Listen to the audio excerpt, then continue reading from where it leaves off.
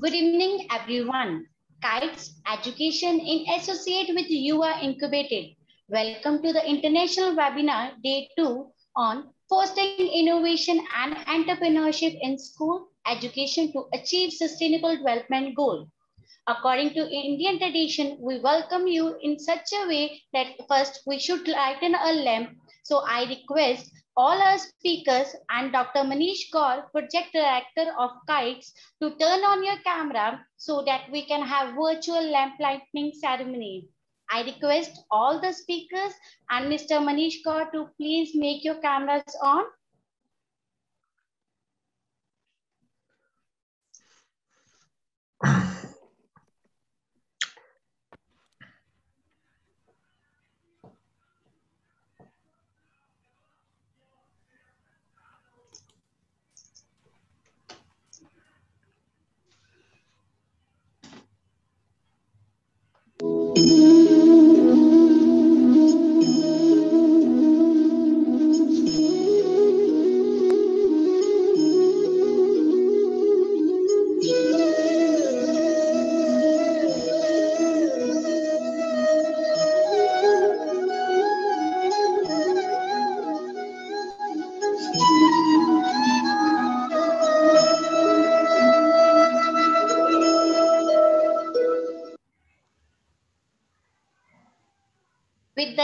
Tradition, with the Indian lamp lighting ceremony, I, Gurleen Kaur, welcome you all on the today's conference, Researching K-12 Education by exhaling a grassroots movement, collection of stakeholders of education to foster a student sound, ambitious, inspiring innovation driven by knowledge, technology, uh, entrepreneurship, and sportsmanship. We have desire to metamorphosis current educational institute in a futuristic center of excellence. We make everyday count in each children's life by facilitating more creative opportunity oriented environment, which is important for 21st century and economy. The purpose of KITE is to assist children in realizing their true potential, passion, and purpose in life. KITES will aid students in their holistic development and be master of kites, knowledge, innovation, technology, entrepreneurship, and sportsmanship. For this, we will act as an instrument to provide the children-centric, passionate skills-based and hands-on practice learning. We find unique talent in every child by establishing equality in education. We create visionary, leadership at every level with an ambitious and impactful education system. This is globally effective. The integration and blend of five pillars of growth in the kites can aid the student and teacher to grow above the gathering by preparing for uh, by preparing them for all the 21st century skills necessary for the new world of work. As we all know, nowadays entrepreneurship is increasing day by day in such a big level that we all needed to learn it from the very basic. With this, now I invite our first speaker for the day, today's conference with the request to come on and share their views. Dr. Anya, Global Educator, STEAM Instructor, Greek Ministry of Education and Religious Affairs, Director of Educational Technology and Innovation, Greece, for the topic, the importance of entrepreneurship in school curriculum. Over to you, ma'am. Uh, greetings from Greece. I'm very, very honored to participate in this on-reaching and uh, resourceful uh, conference. Um, today we'll try to clarify some uh, tenets of uh, entrepreneurship in education, uh, focusing on what it is, why it is relevant to society, and uh, when it should be applied and how we can do this in practice. I want to suggest some effective strategies. So may I uh, share my presentation? Yes, ma'am, you can share.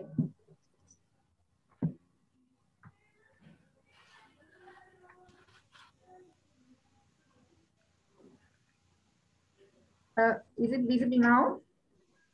Yes, ma'am, your screen is visible.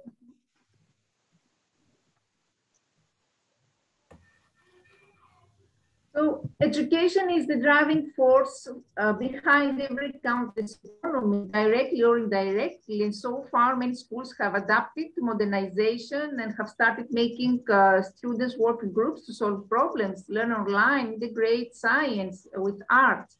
But uh, we can notice that even the students are not uh, that are graduating, they still lack advanced skills and innovative thinking to work through the modern way they challenges in the workplace. So they are not graduating as makers and cutting edge thinkers the world needs. Uh, so entrepreneurship has the capacity not only to start companies, but also to think uh, creatively. It's very important to be included in school curriculum. The idea of infusing entrepreneurship in education has uh, uh, incited much enthusiasm in the last few decades. The global community of entrepreneurial education proponents enthusiastic about the possibility of spreading the idea of entrepreneurship as it is believed to benefit the societies and economies in addition to influencing human development on an individual level. Many effects uh, have been stated to result from this, such as economic uh, growth, uh, job uh, creation, and increased societal resilience, but also individual uh, school, uh, increased school engagement and improved equality. Um, entrepreneurship education cultivates innovative talents, which are an important driving force for future development and present innovation-driven development strategies place new demands on entrepreneurship education. Uh, however, putting uh, this idea into practice has posed significant challenges uh, alongside the positive effects, lack of time and resources, teachers' fear of commercialism, impeding educational structures, assessment difficulties, and lack of definitional clarity are some of these uh, challenges uh, that uh, uh teachers have encountered when trying to infuse entrepreneurship into education. What is the definition? Uh, uh, is an, entrepreneurship is the, the ability to turn ideas into action, to be innovative, to take initiatives, take risks, plan and manage projects with a view to achieving objectives. In the educational domain, uh, we have two, there's a confusion between two terms, enterprise and entrepreneurial education. Uh, the first one is considered to be more uh, narrow. Uh, it's actually, um, uh, when we talk about opportunity identification, business development, self-employment, venture creation and growth, such as becoming an entrepreneur, and we have uh, the more uh, wide, the wider definition of entrepreneurship, which includes personal development, creativity, self-reliance, initiative thinking, uh, action orientation, uh, etc. Uh, so um, why innovation is linked to entrepreneurship? Because innovation is seen as an internal driver. Innovation relates to an entrepreneurial mindset. Uh, therefore, development of new product or enters to new markets is the result of entrepreneurship and education is an important way to acquire resources to enhance innovative uh, ability, innovate, innovative personality, big multi-level learning channels for entrepreneurs by integrating various knowledge and value systems. From knowledge learning to skills improvement, entrepreneurship education uh, includes general ability development and improvement of professional ability. So uh, what about competencies? Uh, entrepreneurial competency is uh, the ability to identify opportunities and develop the necessary resources and capital in addition to technical, financial, and legal knowledge related with fostering creative skills that can be applied in practices, education, environment, supporting innovation. Student entrepreneurs use multi-party interaction, uh, interaction to achieve knowledge in the learning network. The innovation process is the result of interactions among the environment, organization, entrepreneurs, and uh, this uh, ability involves adaptive behaviors and strategies to influence other sections in uh, context, thereby driving innovation uh, and bringing high returns. Um, when uh, were uh, some experts were decision makers were asked what are the main entrepreneurial abilities, uh, they uh, reply to this creativity, uh, um, responsibility, risk-taking, problem-solving, team working, and entrepreneurial know-how.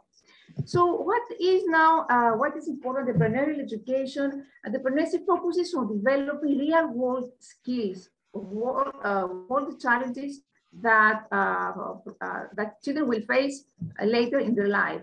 So we need uh, real world problems, authentic real life problems that will help students to lead exceptional lives in a rapidly changing world, learn to understand uh, the product uh, development cycle, they come up with their own unique business uh, models and deliver presentations. Uh, so uh, they can take action by addressing societal challenges and everyday problems based on their own interests and ideas.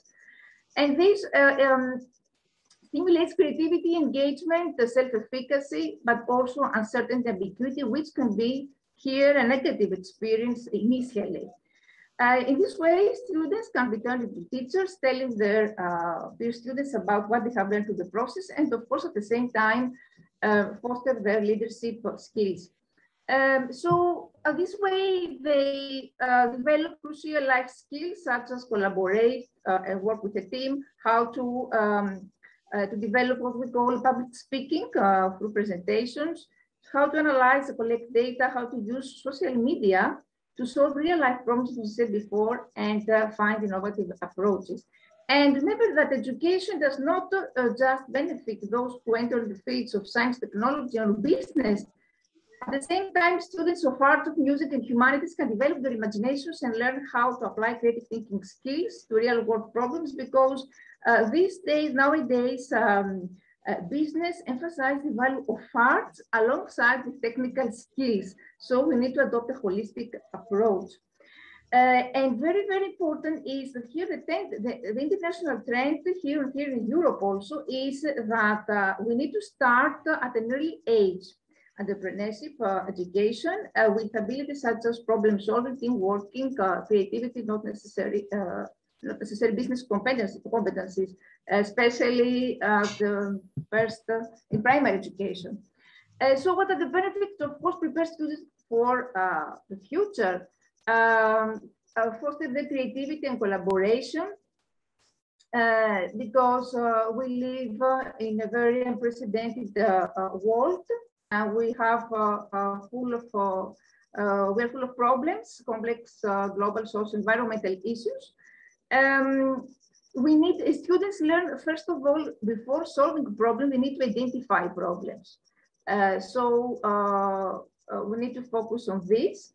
Um, and uh, uh, after this problem solving is the next step um, and why very very important how to encourage girls and women um, because women we all know that they are all underrepresented in leadership position, and this has created a gender gap that exists in almost every industry.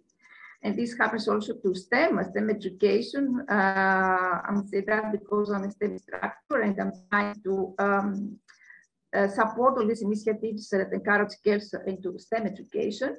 And entrepreneurship education lets kids develop their leadership skills, embrace uh, their uh, competitive side. they learn to take more risks uh, according to research, uh, women are more likely than men to take risks. And uh, entrepreneurship education helps students from all uh, socioeconomic backgrounds to think out of the box and nurture unconventional talents and skills, create opportunities, ensures uh, social justice, uh, confidence, stimulates social the economy. And of course, this is a lifelong process starting at primary education, progressing all levels of education, including adult education.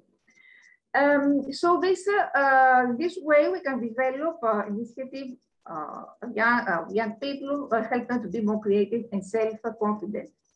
Uh, many times they ask if entrepreneurs are made or born. Um, of course, we all know that we can teach entrepreneurship, and this is a social interaction process. Um, and uh, this uh, entrepreneurship education may uh, change our students' attitudes towards entrepreneurship. At the same time, uh, entrepreneurship education provides students entrepreneurs with information, knowledge, and other resources they need, uh, forming a strong atmosphere of innovation, entrepreneurship, reducing environmental uncertainty, creating good environment for innovation development. So uh, provides a comprehensive learning management for student entrepreneurs. Here we can see uh, on different levels, uh, what are the benefits, individual, organization, societal uh, level. Um, and now we talk about how. first of all, students can practice interview questions, uh, conduct interviews with entrepreneurs. Uh, they can use art because uh, when they come up with ideas, they also uh, try to think how they will present their ideas in aesthetic view. So art is very necessary. Thinking skills, teach uh, students to think on what is positive or strong about their work. Uh, so develop critical thinking. Uh, imagination, creativity goes along with imagination, innovation, and research skills uh, because uh, uh students uh, should uh, make the research before they decide what they want to, how they want to develop their product, what will be the product and how they want to develop it. so we need, what are the strategies? Let students construct entrepreneurial stories in their own life uh, that will help them develop their opportunity skills. let them imagine themselves as entrepreneurial individuals in the distant future. Uh, let them work in discipline terms and uh, let them reflect upon problems and needs of their society because the product that we create will be based on uh, special need in their community, on their society. So what could be the activities uh, that could trigger entrepreneurial competencies? Um, teachers can give them, uh, give students assignments to create uh, value, uh, preferably innovative, to external stakeholders based on problems, opportunities students identify. And uh, um, this could trigger uh, uh, creativity, said before. Service learning is very, very important. Teachers interested in working with entrepreneurial education could probably learn much from service learning initiatives because components of successful service learning problems, a common uh, challenge is how to create an activity that truly matches the needs of the community with the learning needs of the student. Design thinking is also very important um, uh, and um, organize interaction with the uh, uh outside world. Um, for instance, uh, in schools, uh, in my school, we had organized a bazaar where children created some models of the asset water technology and uh, they created a, a, small company about this. They sell all the products and we sent uh, all uh, the income the money to students in Africa where uh, they implement my national project about water. Uh, so I think that uh, the partnership can many, many pedagogical applications. And how we can assess all this. for instance, we can have student diaries, novel ways to assess the entrepreneurship, student observation, emotional critical event. Why emotion? Because uh, according to recent research, uh, affection uh, emotions are key to attributing meaning to our learning experiences. And uh, we have seen, we're talking about holistic approach uh, that uh, entrepreneurs and students are not robots. We need also to focus on the human dimension, the human aspect and emotional aspect.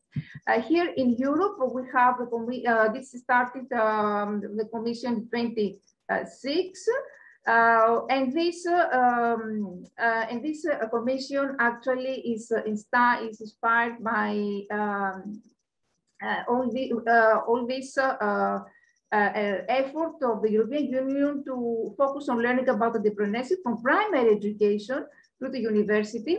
And what are the recommendations? they suggest a coherent framework uh, support for schools. So they try to foster entrepreneurship in higher education because entrepreneurship be incorporated in various subjects. Uh, participation by external actors and businesses. Support, of course, for teachers should be given uh, teachers initial and uh, in-service training as well as practical experiences. Um, and the practical experience, why? Because one of the most effective ways to promote entrepreneurial mindset and skills is through learning by doing. Um, and we have also some examples in, Europe, Imagine competition, the BOSS Festival. In Spain, uh, we have uh, um, another problem education change system, uh, very, very interesting uh, project. And here in Greece uh, recently, uh, students created an, an enterprise for students with needs, for visual impairment, and at the same time, they uh, use STEM education. I think it's the ideal uh, how to create project uh, combining entrepreneurship and uh, STEM education. Using Arduino, here this project, we have sensors, etc. So uh, this way, the, uh, through entrepreneurship, we can make the world better and solve problems, meet needs. And um, uh, because students this way, they're hardwired to make a difference and make the world a better place. And despite its uh, promising effects, uh, we need to keep in mind that this is at a quite early uh, stage of development. Uh, it is still uh, a marginal pedagogical approach, but in the future, we can hope for greater awareness of the need to develop and establish progressive model, new models for entrepreneurial education, uh, we can also hope for, for researchers identifying some unifying characteristics of entrepreneurial education across all levels of education uh, to a higher degree. And uh, in the future, teachers will hopefully have access to classification frameworks and other support material, allowing them to pick and choose from a wide variety of pedagogical tools. Uh, thank you very much for your attention. If you have any uh, question, I am at your disposal. Thank you, ma'am, for such an insightful session. Anybody having any question can raise their hand or they can just pop their message in the chat box. We are having a person with the name uh, Sanatan. He has raised his hand.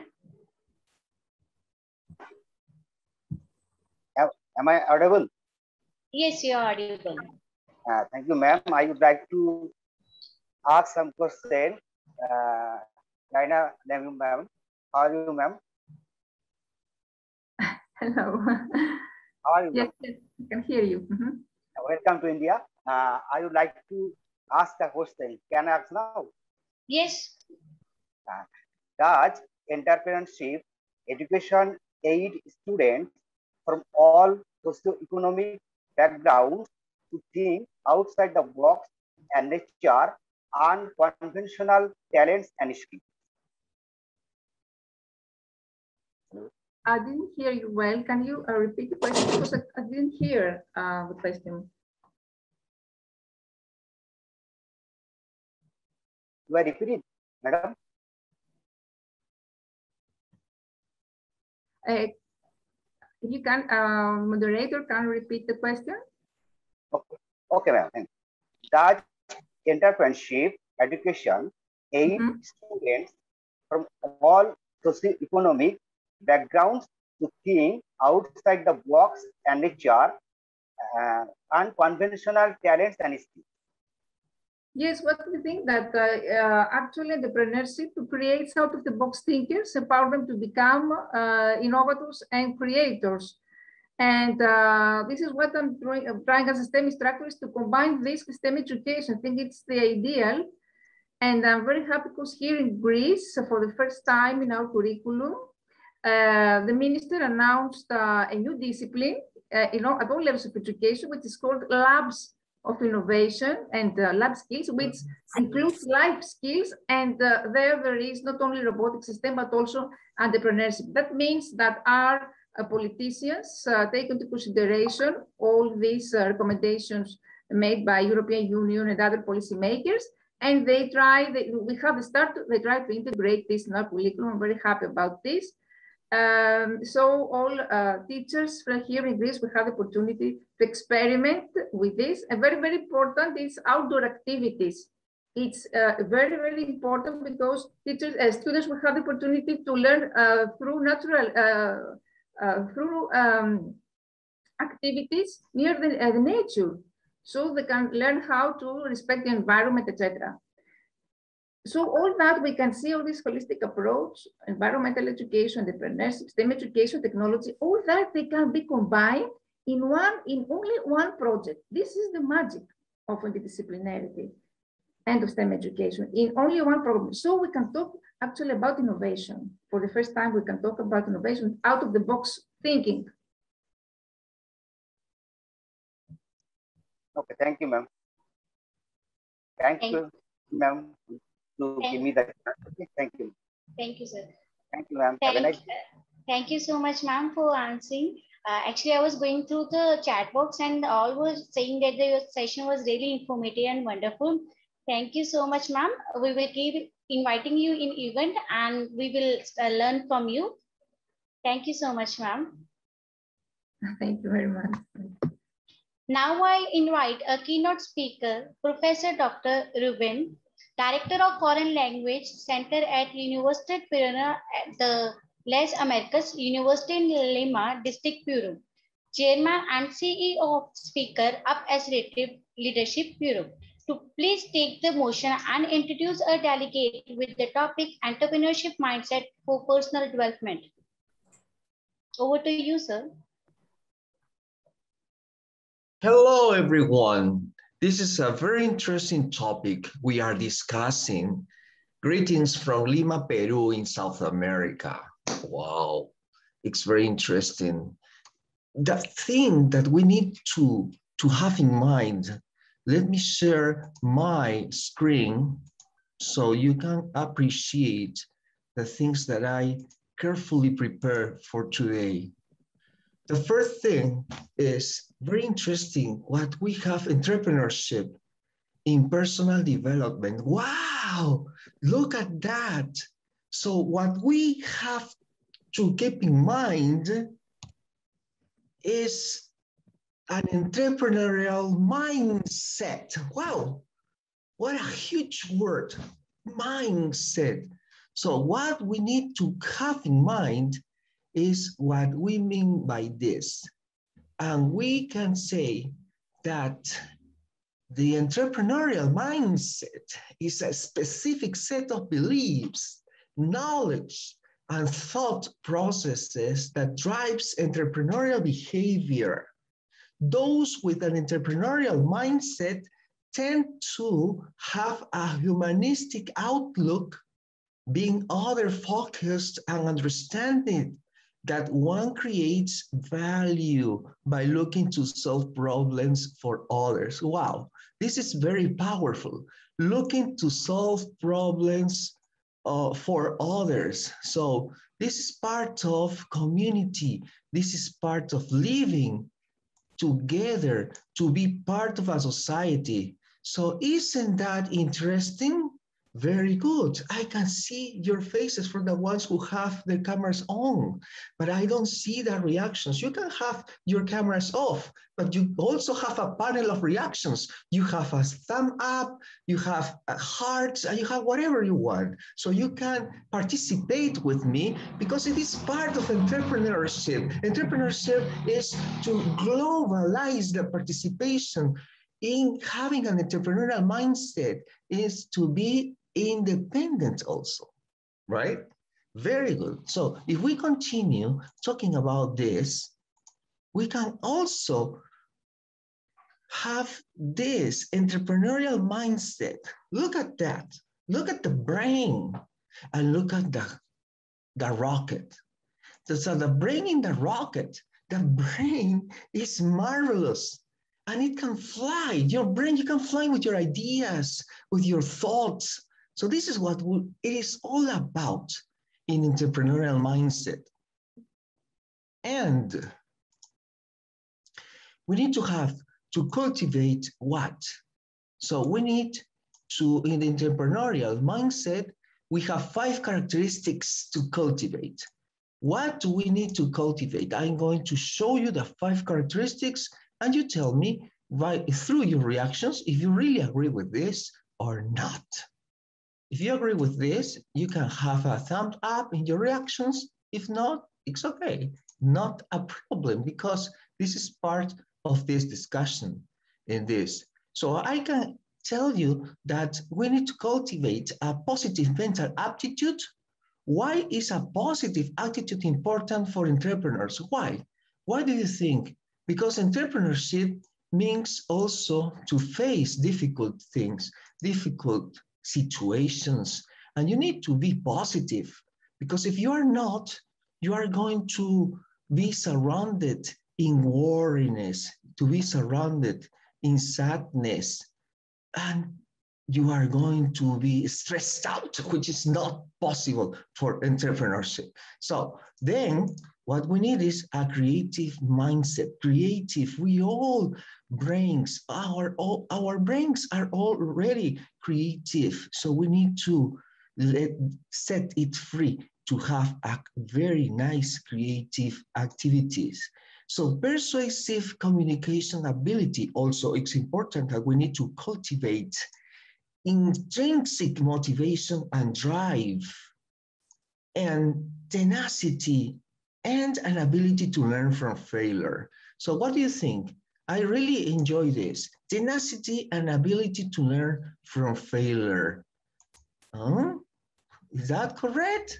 Very interesting, powerful words that we all have in mind. Also, the entrepreneurship mindset eh, with these aspects that we need to cultivate helped us to be in a very good position through this lockdown.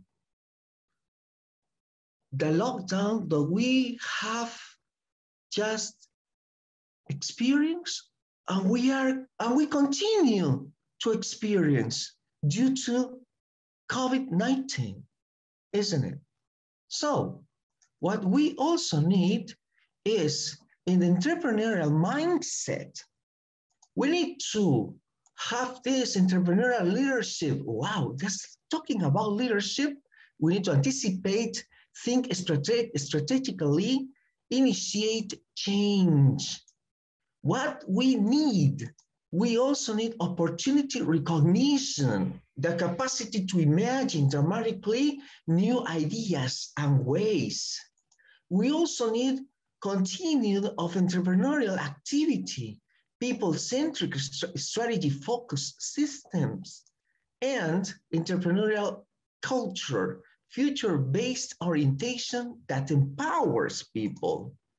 So we also have in here three essential mindsets an entrepreneurial need, an entrepreneur needs to success. Do you want to know do you want to know what the three essential mindsets an entrepreneur needs to succeed? So which are they? Let me share with you the first.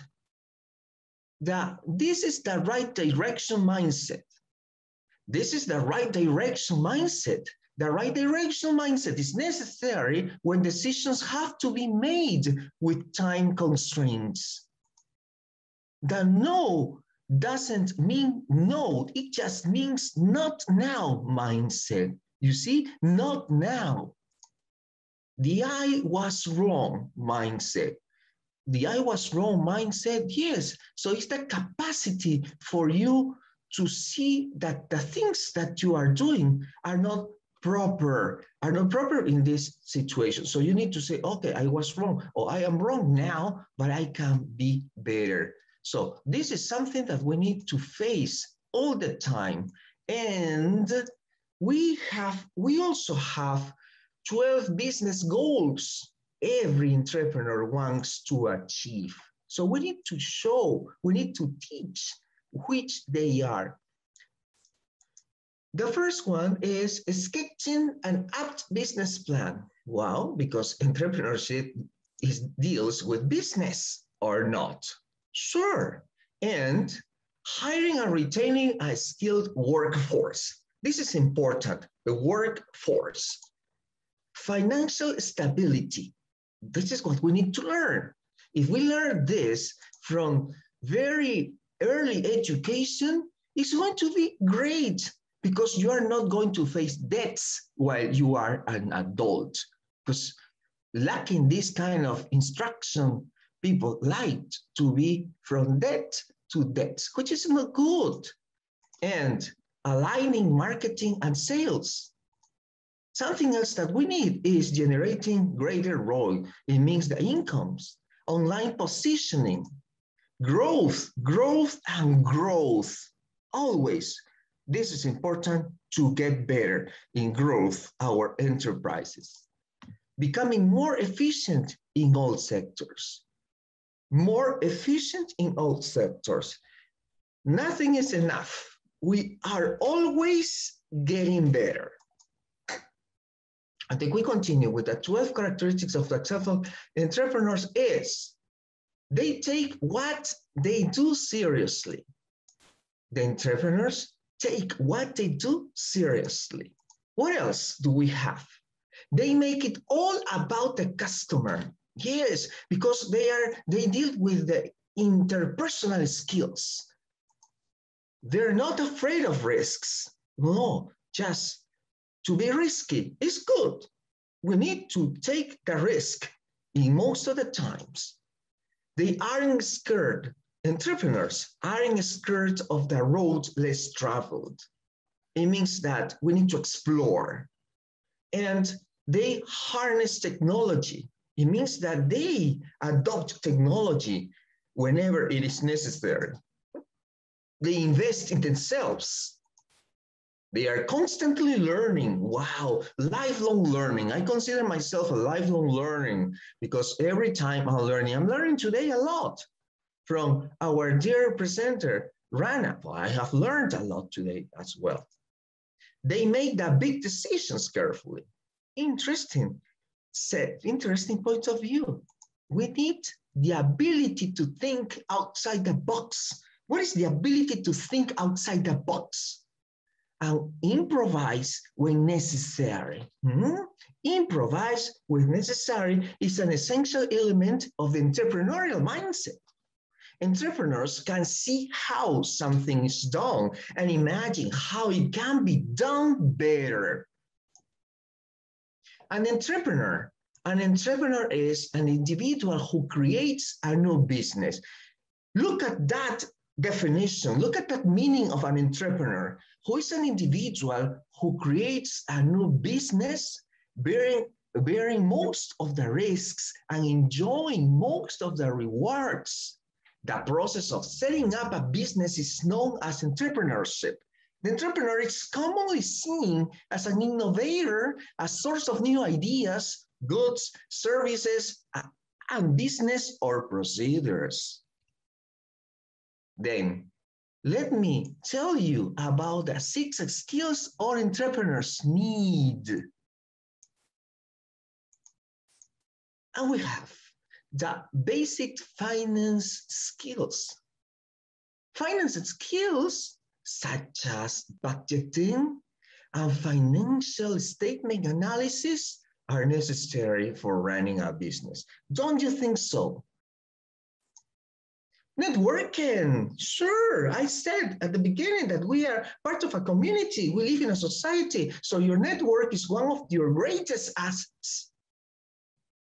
Speaking confidently. Yes, you need to speak confidently. You need to know what you are offering. Your entrepreneur, your enterprise is about a service, is about something tangible, is selling things. So you need to be confident about what you deal with accepting and acting on feedback. Sure, we need to accept why you get get worried when you receive feedback. Actually, we need to have the idea of the feedback very clear.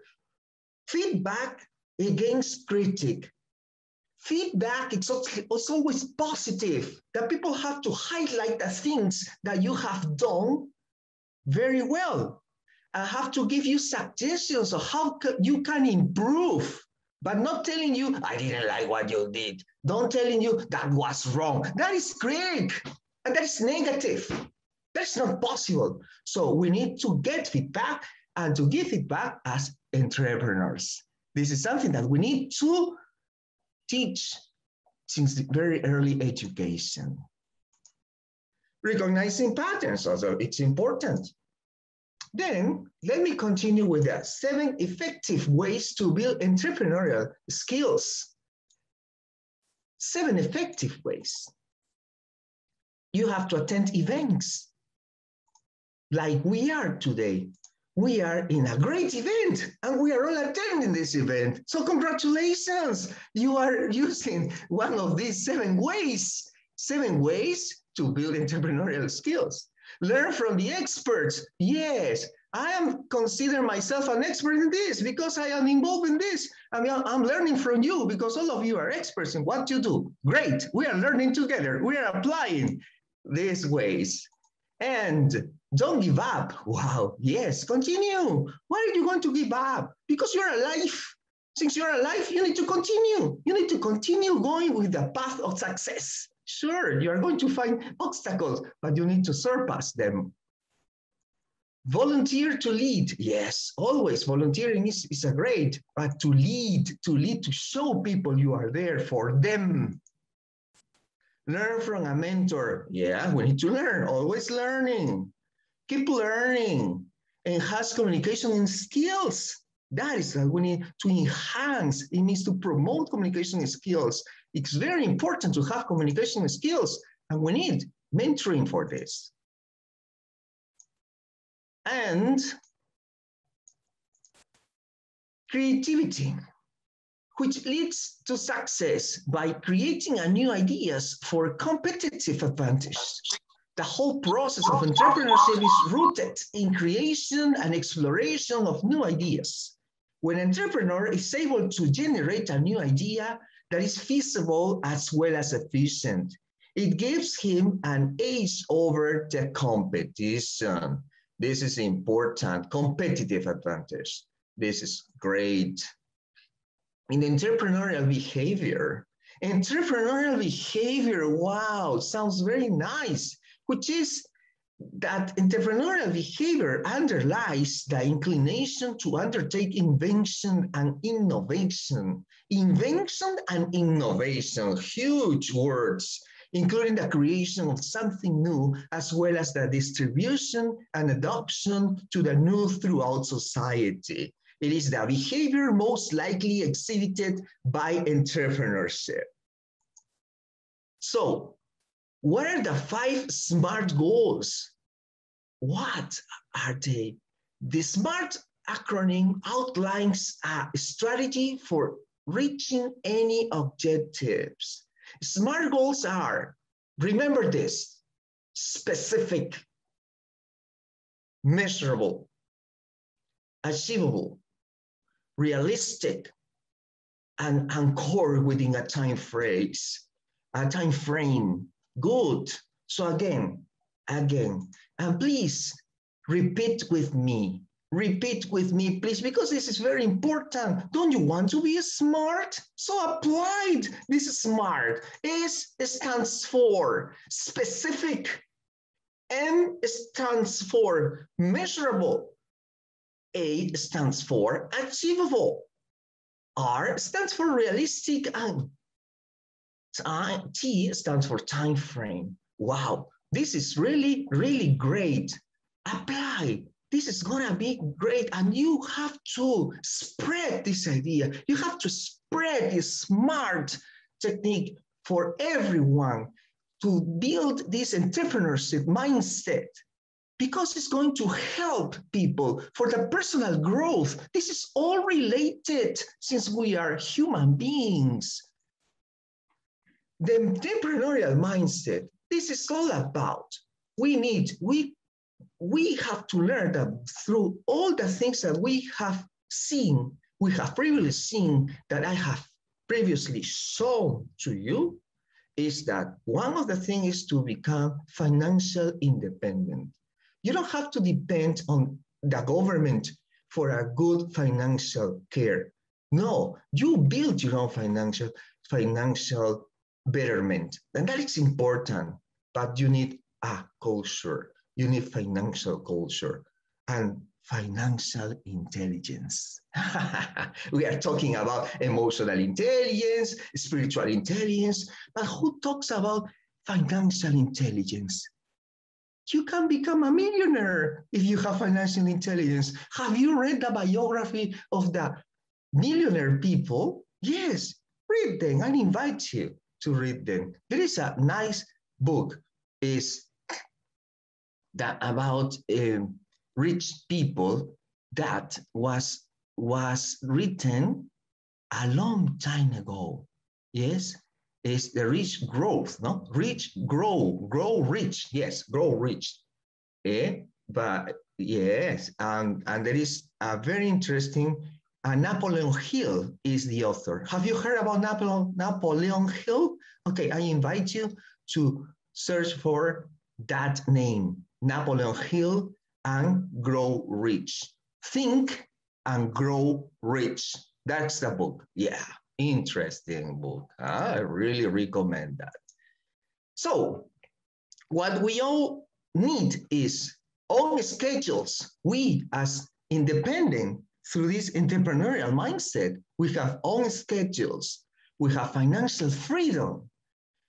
we find the, the right idea and we own a lifestyle. We own a lifestyle, the lifestyle that you really deserve. You really deserve. And you need to be happy, to be always positive all the time. That's the way it is. Then, if we attach this through the personal development, we are going to have good health from the emotional, mental, physical, spiritual, and social. This is all about the entrepreneurial mindset related to the personal development. We are leaders in this. We can become better people through entrepreneurial mindset as well.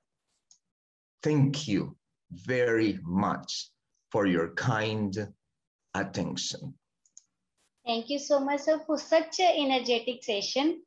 We really enjoyed it and we have learned a lot as I was just going through the chat box and the comments which were from our educators. They all really enjoyed and they all are saying that the information informative session was there. Thank you so much, sir. Now I request the educators if they are having any query or any question, they can raise their hand or they can pop it in the chat box. Mr. Sonatan, uh, he has raised his hand. Hello, hello, sir. Am I audible? Yes, you are. Thank, uh, thank you, sir. Uh, can I ask a question? Yes, you can. Uh, why is a creative mindset important for entrepreneurs?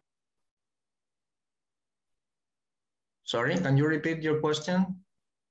Why is a creative mindset important for entrepreneurs?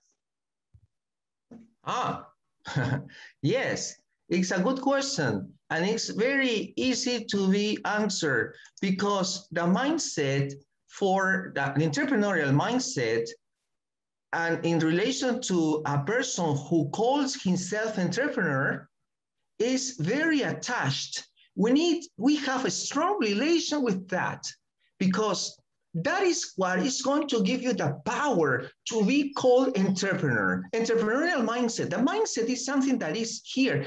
Imagine that you have the chip on your cell phone. Have you got a cell phone? It has a chip. So the mindset is the chip that we have in our mind in entrepreneurial way. It's analyzing all the aspects that I have explained before or I have mentioned before to deal with this. So being an entrepreneur is having all the characteristics that I have shown you. So this is part of it. Entrepreneurial mindset and in, an entrepreneur, the entrepreneur is the person who deals with this. Okay, I don't know sir. if I have answered your question. Yes, yes, yes. Can I ask another question, sir? Of course, all the questions that you want, but if the time allows that. yes, sir. Okay. Go ahead. Okay, sir. Why, why is a positive attitude important for entrepreneurs? Oh, positive. very interesting question. Because if you don't have a positive aptitude, you have a negative one. The opposite of positive is negative. And a negative attitude can lead you to depression. And depression is not good because imagine you are depressed, you don't go forward. Through depression, you go backward. And we need always to go forward in business, in enterprises, entrepreneurship. Go forward. Okay, thank you, sir. Thank you very much, uh, ma'am. Thank you for the question, Sonata. Great. Uh, thank you, sir. Thank, thank you. Thank you so much, sir, for answering the query. Really, it was a wonderful session. We all learned a lot from you. Thank you so much, sir. Now, I would like to take an opportunity to introduce our next speaker, Mr. Edward, Principal and Chief Learning Evangelist at Global Academy of Holistic Leadership and Coaching, CEO at Prerona Television Canada, Edmonton, Canada, to share his view on topic the role of innovation and entrepreneurship in education for achieving sustainable development goals. Over to you, sir. Thank you. Can I share my screen? I think I can, right? Okay. Yes, sir, you can.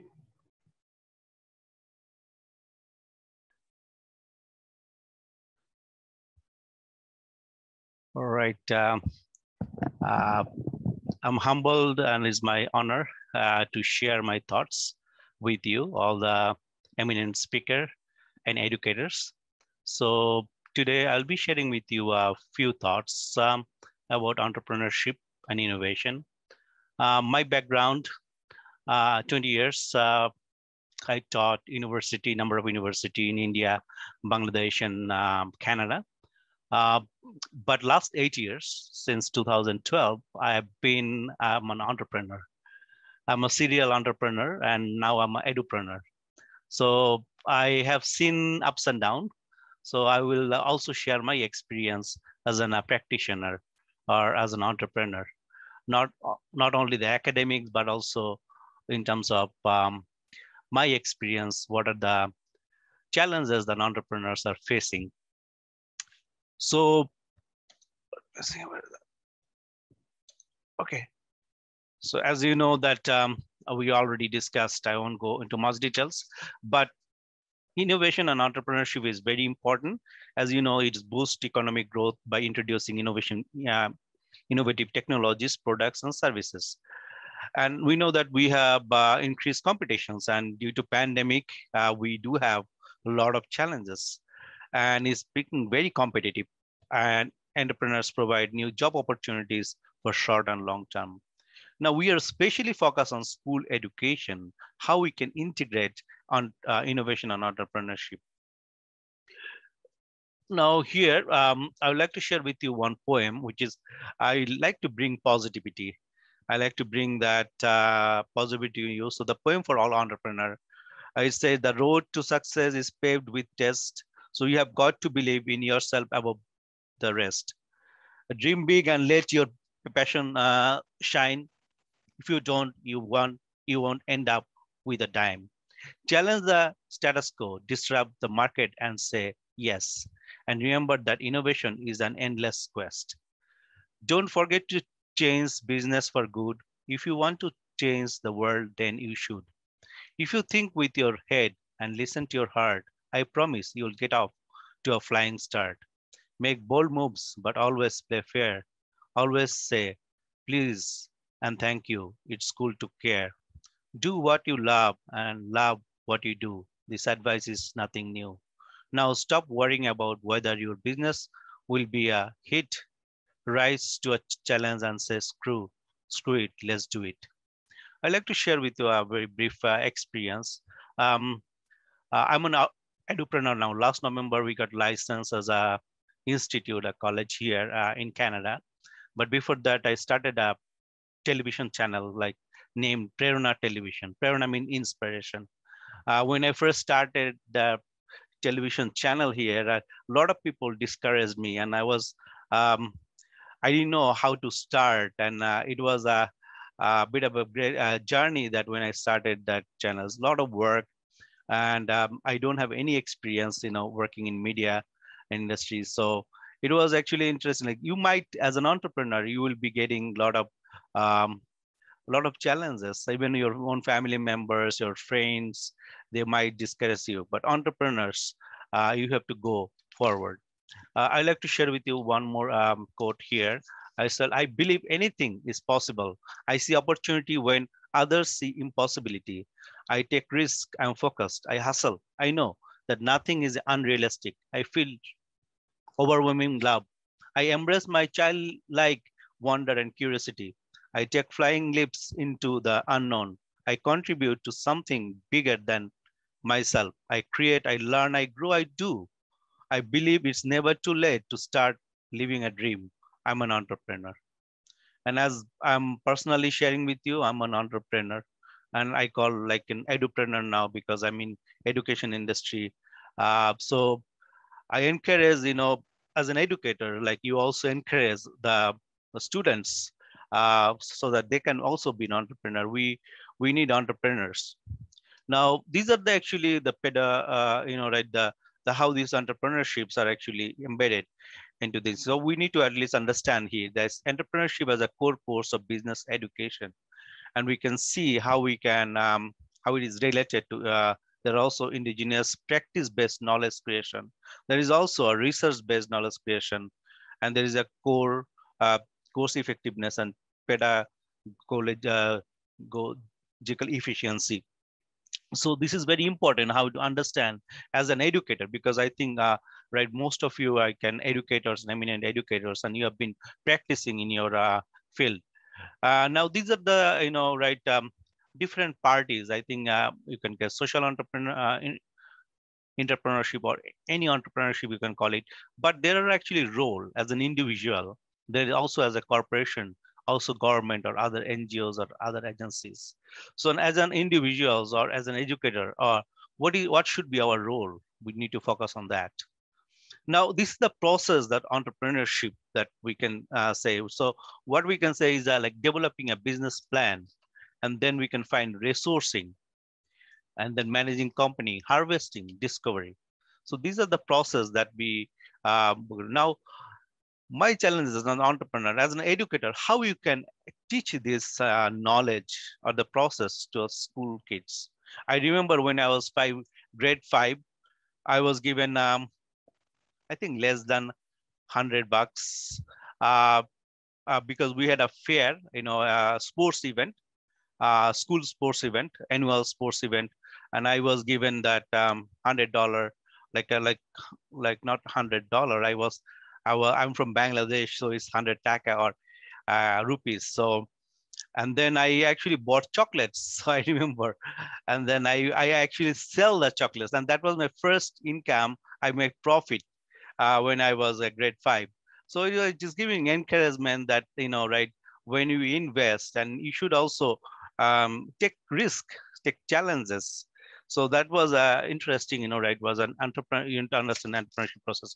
The other thing that I would like to share with you, this just a very um, broad, uh, elaborative uh, process.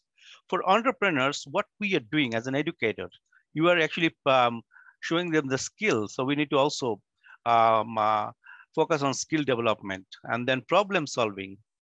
There is also creativity, as uh, Professor uh, uh, Ruben, Dr. Ruben, uh, has already shared. Uh, there are also uh, creativity, persu- uh, persuasiveness, and planning, negotiating, decision making. So these are the skills that individuals can uh, get. An attribute, what are the attributes are there? Self-confident, autonomous, achievement-oriented, versatile, dynamic, and resourceful. Now here,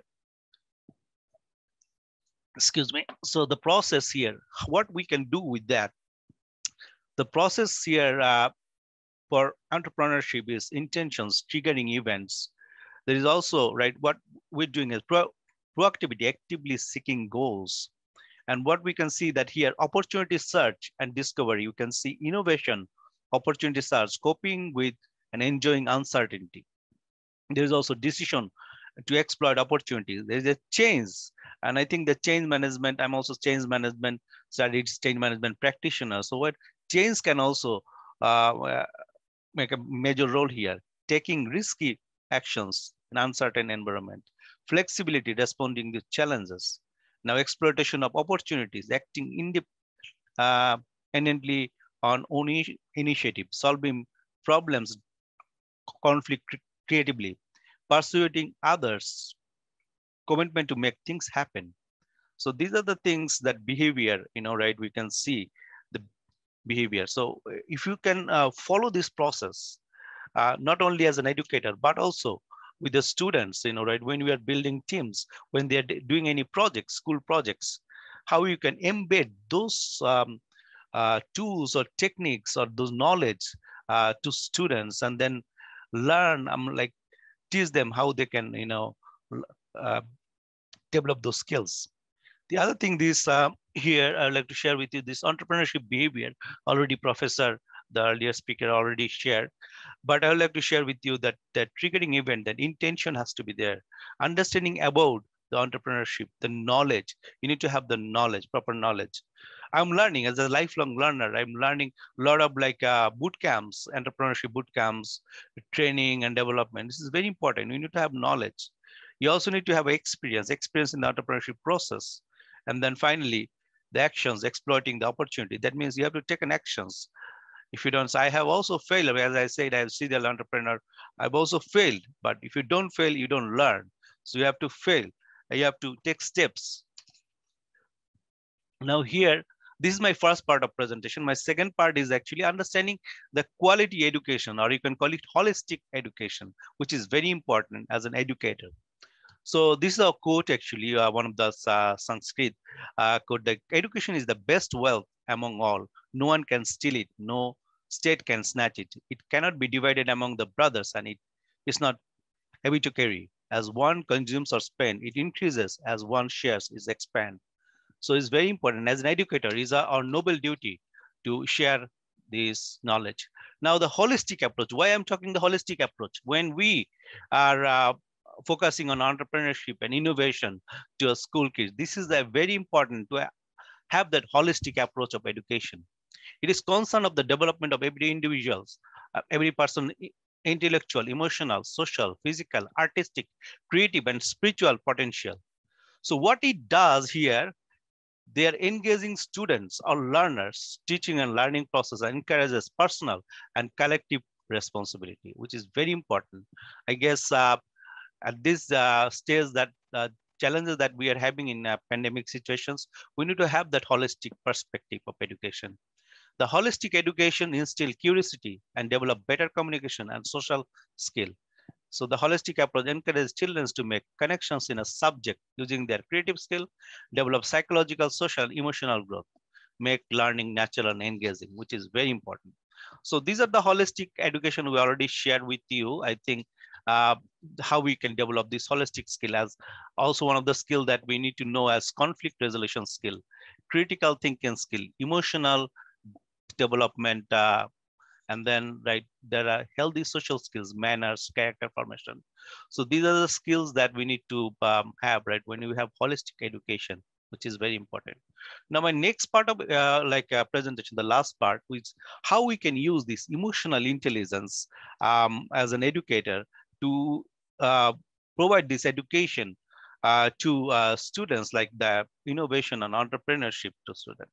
So EQ is also one of those tools. There are many others, but EQ, uh, uh, the uh, EQ is ability to understand, use, manage your own emotions in a positive way to relieve stress, communicate effectively, empathize with others, overcome challenge and diffuse conflict.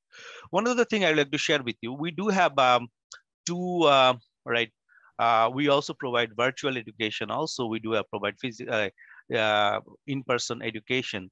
So these are the challenges, uh, like the great challenge for us, like how we can use um, uh, use our tools and techniques, all right, to at least tools and techniques to teach the student.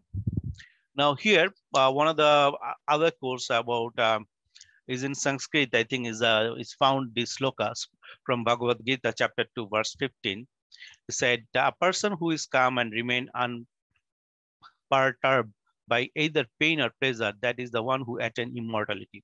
So what is the uh, you know le lesson here is, and as an educator, we need to have you know that calmness or we need to have that emotional intelligence so that we can we can be a better and effective instructor teacher or educator. Now the, ne uh, the next one, I, I won't go into that details, but I would like to focus on emotional intelligence. There are five areas where you can say the self-awareness, self-regulation, empathy, social skill, and motivation. Now here, um, this is very important when you are educating, like when you are um, uh, like a school uh, children, that innovation and entrepreneurship, we need to understand um, how this intrapersonal, interpersonal, you know, right, skills can be taught. Now here, uh, the, uh, we, we can see the emotion, the self-awareness. The first we need to have the self-awareness and then self-management, how we can manage ourselves. And then for work, we can say self-performance. And for interpersonal, we can say social awareness, relationship management, people's performance. So these are the things, our skill, I guess, uh, as an educator, uh, you need to uh, attain. Um, I have been, uh, I'm a certified coach too, uh, but as a lifelong learner, I'm also learning these skills. And it's very important uh, for an educator to learn those skills. I won't go into that details, but, but sh share with you very briefly that how you can develop uh, the self-awareness. The self-awareness, the ability to recognize, understand your own emotion, right? Are we, as an educator, are we understanding our own emotion? Critical emotional intelligence skill. This is very important to understand our emotional uh, state. We need to be aware what we are doing. Uh, we need to also capable of monitoring our own emotion. So here, we need to understand our strength and our limitations. Uh, there are many ways that you can do that. Yeah, you have uh, a lot of feedback tools and everything that how you can get uh, know your own strength and limitations. So this is very important uh, to also have a good sense of humor. Uh, like as previous speaker, as a very uh, passionate, I can see her, her his presentation, right? We need to have a good sense of humor, also very passionate about this education. So self-awareness is very important. There are many ways that you can um, improve the self-awareness. Like especially we are non, we want to focus on innovation and entrepreneurship. So how you can uh, instill this uh, two, uh, uh, these particular tools, uh, techniques to students, how you can improve self-awareness. So there are, uh, we can ask constructive feedbacks, keep journals, learn new skill, meditate. There are many others. Practice mindfulness, set goals, use positive self-talk. So these are the tools that we can use uh, for self-awareness. The next one uh, is uh, called uh, uh, self-regulation, which is very important. So after the self-awareness, how we can regulate or manage our own emotion. As you know that uh, we we when we say the self-regulation, it is all about expressing emotion appropriately. As an educator, it is very challenging. Even though you are in virtual environment, you need to uh, express your emotion. I remember when I was in school, I, I can see many instructor or many teachers, you know, some of them, they don't have or they lack, you know, right, how to act appropriately. It is very important. Now, during this pandemic, I guess as an educator, you need to uh, act appropriately. You have to use your emotion appropriately. So self-regulation is very important. And uh, Goleman also suggests that with strong self-regulation skills are high, highly, uh, you know, right, high in consciousness, and they are thoughtful about how they influence others, and they take responsibility for their own actions. Then, as an educator, uh, it is our responsibility to take uh, uh, our, we should take a responsibility for our own action, which is very important. So there are many, um, um, many ways how can improve self-regulations, be mindful of thoughts and feeling, build uh, uh, distress tolerance skill, which is very important. I know we, uh, when I was an educator here, I taught in um, Asia and also in Canada. So we can see cultural, you know, right, there is a cultural shock, how the students are uh, reacting and things. So sometimes, you know, you need to have this uh, distress tolerance skill. Some students may not be uh, respectful. They are very violent or they're very uh, not. So how you can uh, build a distress tolerance skill? Find ways to manage difficult emotion look challenges as opportunities. Practice the practice your communication skill and use cognitive reframing and change thoughts patterns and emotion responses. Work on accepting your emotion. Now the next uh, is called empathy, uh, the social awareness or empathy. So what do you want now? Empathy is the ability to understand how others are feeling is absolutely critical to emotional intelligence. Uh, so, but it involves more than just being able to recognize emotion states of others. It also involves people based on the information. So when you sense that someone is feeling sad or hopeless, how do you respond? So you might treat them with extra care or concern, or you might make an effort to buy uh, their spirit. Being empathetic also allows you to understand power dynamics that often influence social relationship especially in workplace settings. This is important for guiding your interactions with different people you encounter each day. Those competent in this area are able to sense who possesses uh, power in different relationships. They also understand uh, how these forces influence feelings and behavior. Because of this, they can accurately interpret different situations that hinge on such high, uh, uh such power dynamics. So it's very important, right? Have that build your social awareness skill. So there are many ways that you can build uh, this empathy. Be willing to share your own feeling, engage in cause such as community projects. I've been volunteering with Rotary or many other projects recently. And then uh, I, I actually learned a lot of things. I learned from many youths, many, you know, right, uh, engaging uh, community projects. I also, as a coach, I'm now listening, empathetic listening. I learned so many things. And i also gain more clients. As an entrepreneur after i'm just listening to my clients i said yes i'm gaining more clients right now. And this is what is a you know right you need to have that empathetic listening.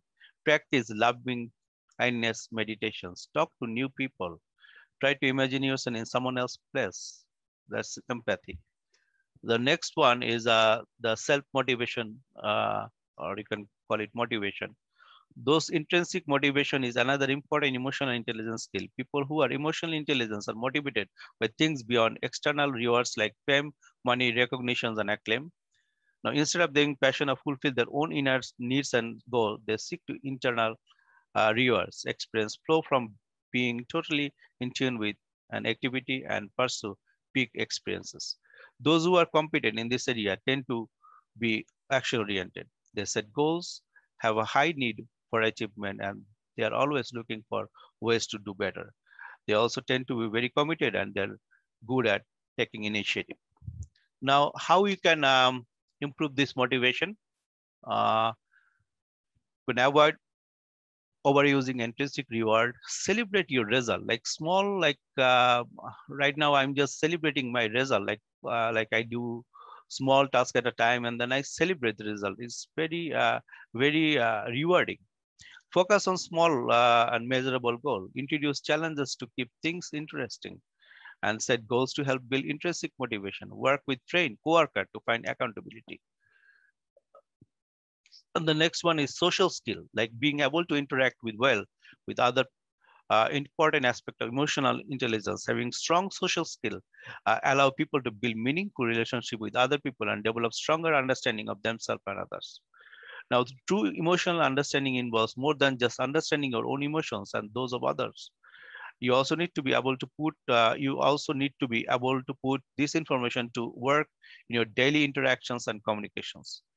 Uh, in a professional settings, managers benefit by being able to build relationships and connections with employees. Worker benefits from being able to develop a strong rapport with leaders and co-workers.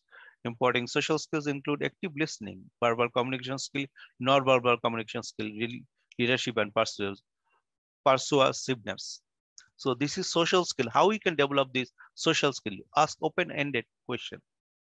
Find icebreakers that will help start conversation. Notice others people's social skill.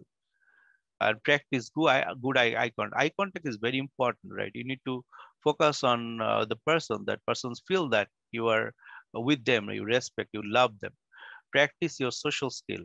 Practice active listening. Show interest in others. Watch body language.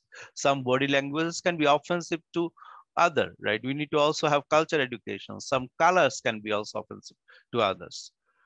Uh, some so you need to be aware of those uh, things. Now uh, you might ask question that why I uh, sharing this uh, emotional intelligence because as an entrepreneur, I, I learned, I'm certified like emotional intelligence uh, coach also. So I, I, when I actually learn emotional intelligence, I gain more clients. Uh, and I, I, I have a now uh, approach like uh, with my, you know, I, I, have an empathetic listen. I listen to clients. I listen to my, you know, right, uh, all the clients, and it is actually helping me to gain more uh, businesses.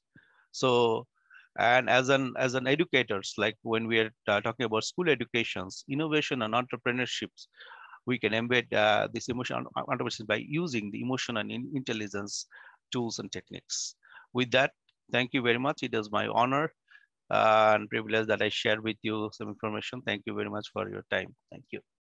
Thank you sir for speaking to us on this conference. Um, now i would like to take a question by mr george he's asking like humanity plus patience plus self-management is equal to How important are these for the educators and the entrepreneurial team?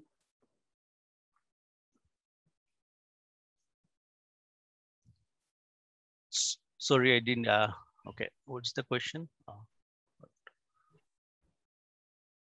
Humanity plus patience plus self-management. How these things are important for the educators and the entrepreneurial team. As you know that uh, first we need to ask why you were in this uh, particular industry, right? Education. So when we use those, um, what uh, what has been discussed, I think it is very important uh, when we have these uh, things, then you are you are equipped. You feel um, that you are competent.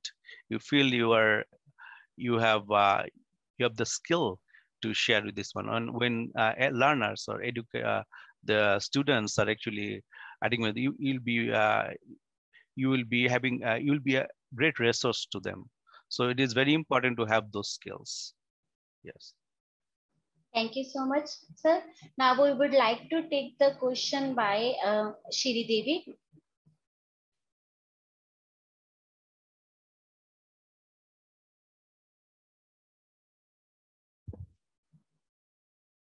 It seems like uh, she's having some technical issue.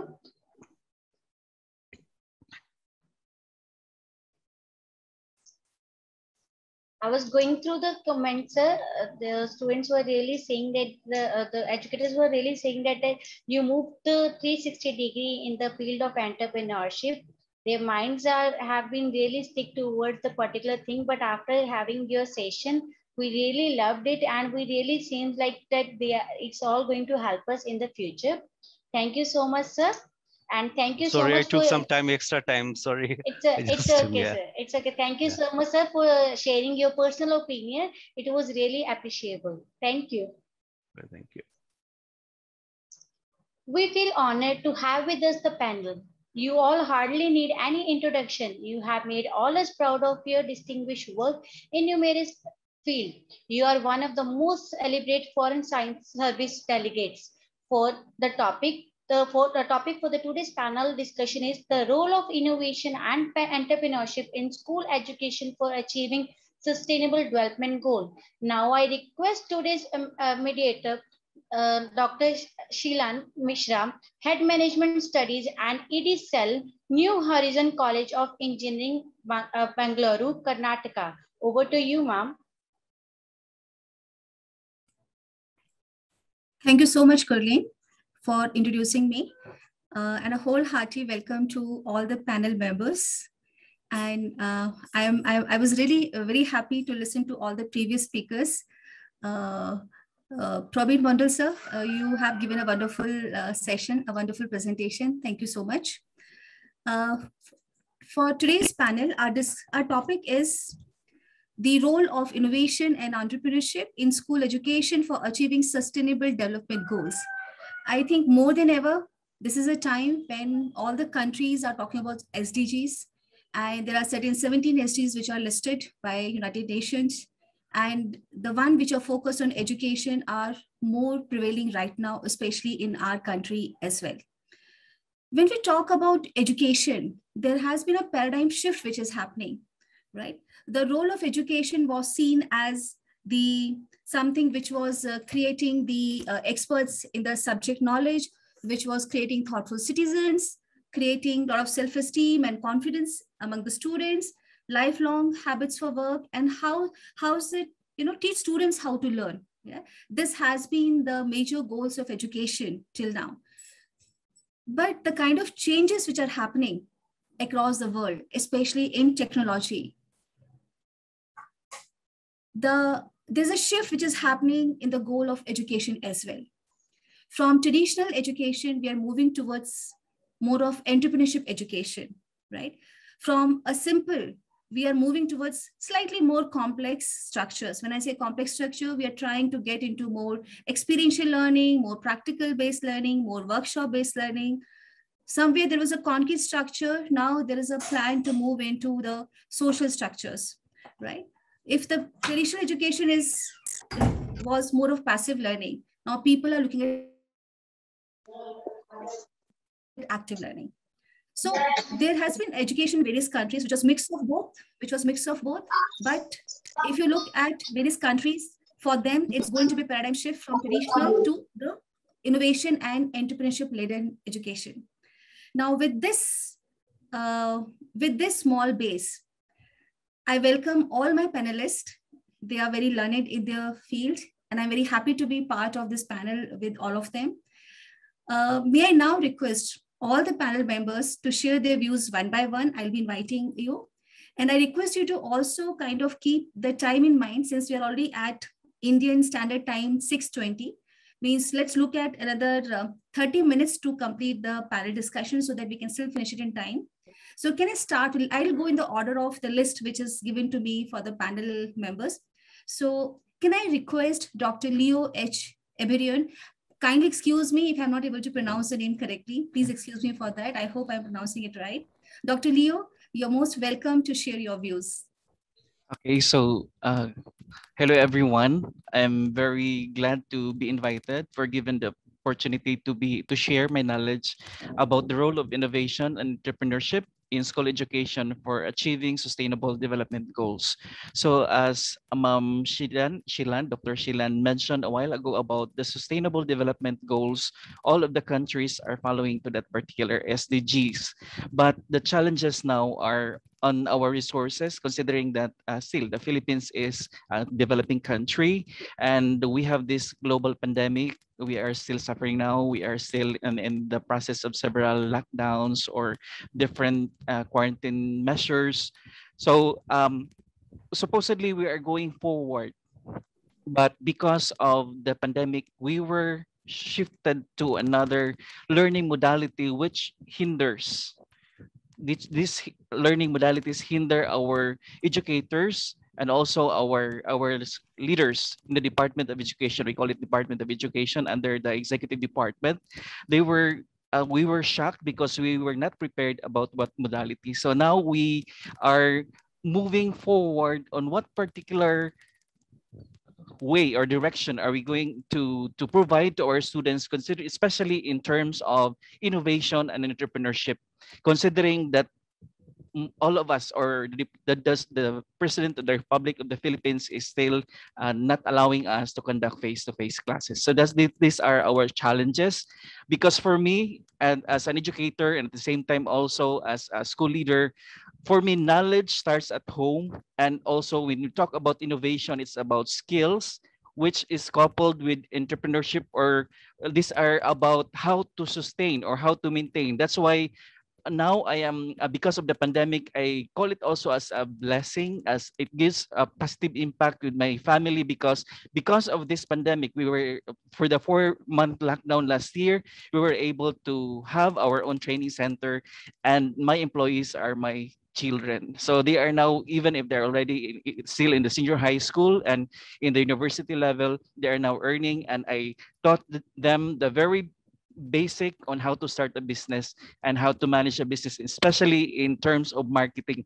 So it was mentioned already a while ago about the different skills. I agree with the speakers about the important skills to be uh, enhanced, like for example, communication skills, decision-making skills, critical thinking skills, and everything. It's very important to, to hone our children. So especially uh, Sir Edward, Professor Edward mentioned about holistic education is very important. Moving forward on how to prepare our students to prepare their, themselves because they are the future generations they are the hope of our country they will of course we will grow old and considering that of the pandemic we do not know whether we are still present or we are still alive tomorrow we do not know that's why i, I in my own case I, based on what I've learned in, in education, I, I, ha I, have now my, my own training center, my own school, and I am developing starting from my family. And of course, I'm sharing this to my, my students, to the teachers as well. And also we have to equip our teachers on how to,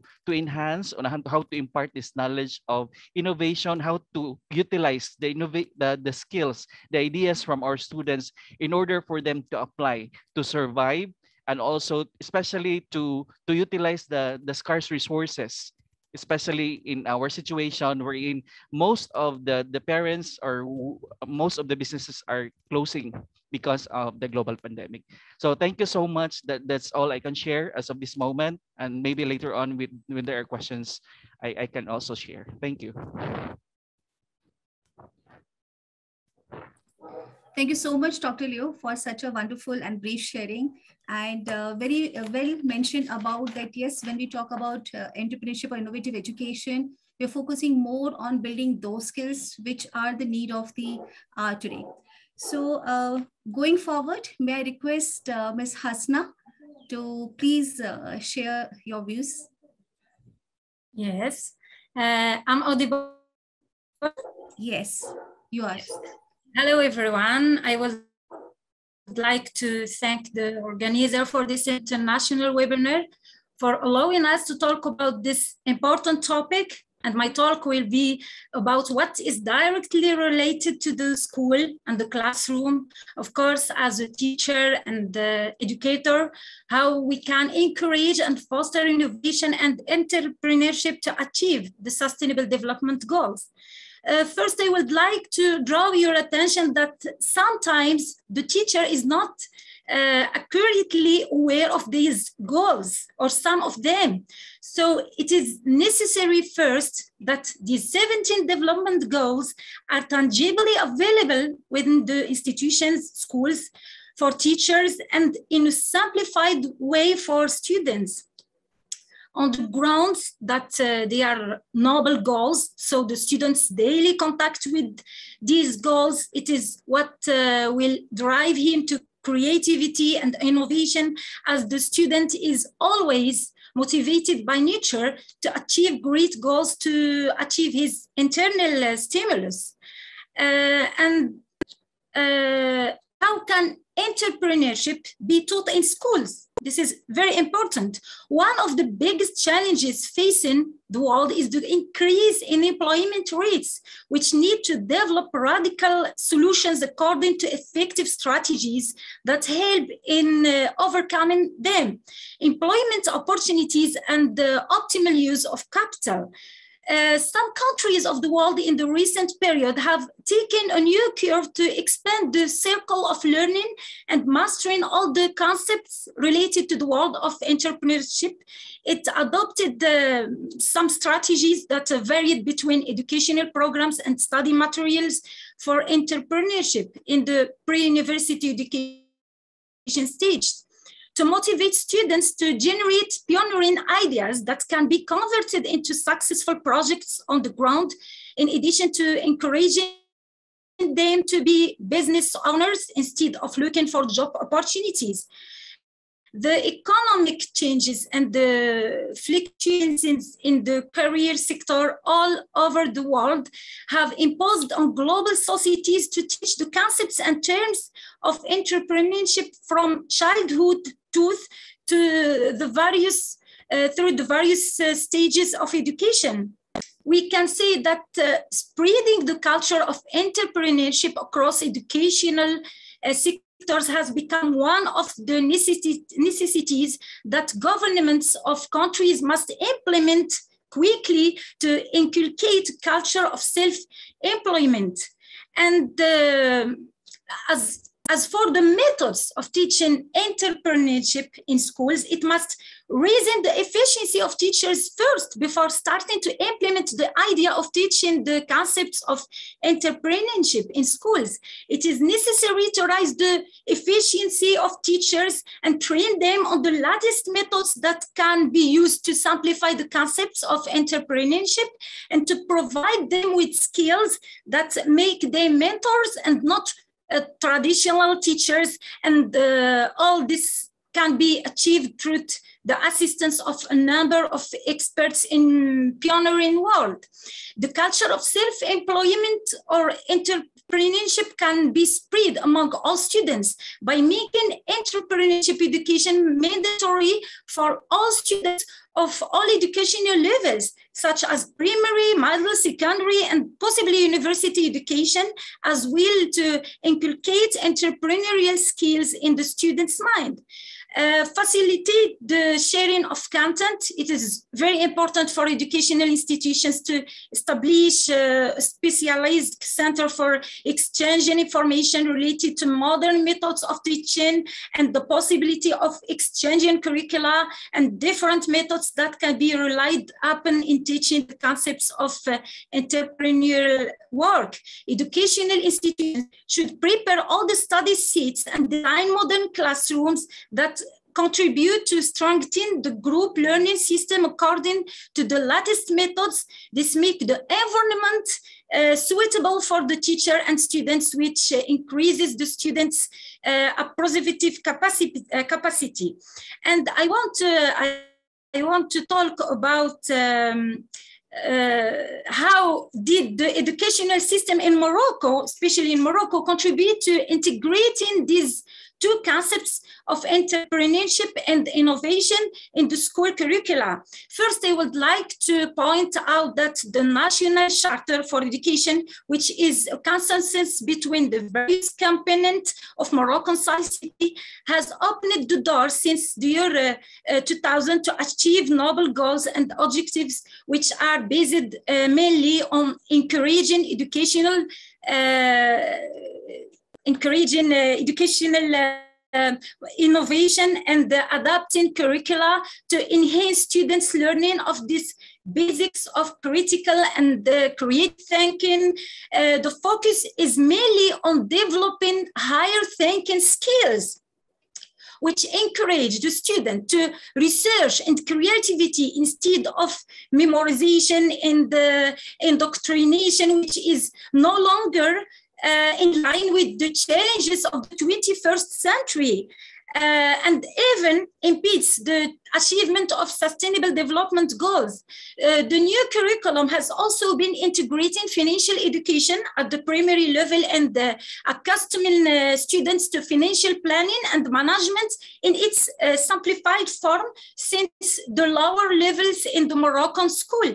It is uh, worth noting that the Moroccan educational system has created a permanent committee to renew and adapt the curricula in parallel with the everything new in the educational uh, and development, uh, whether nationally or internationally.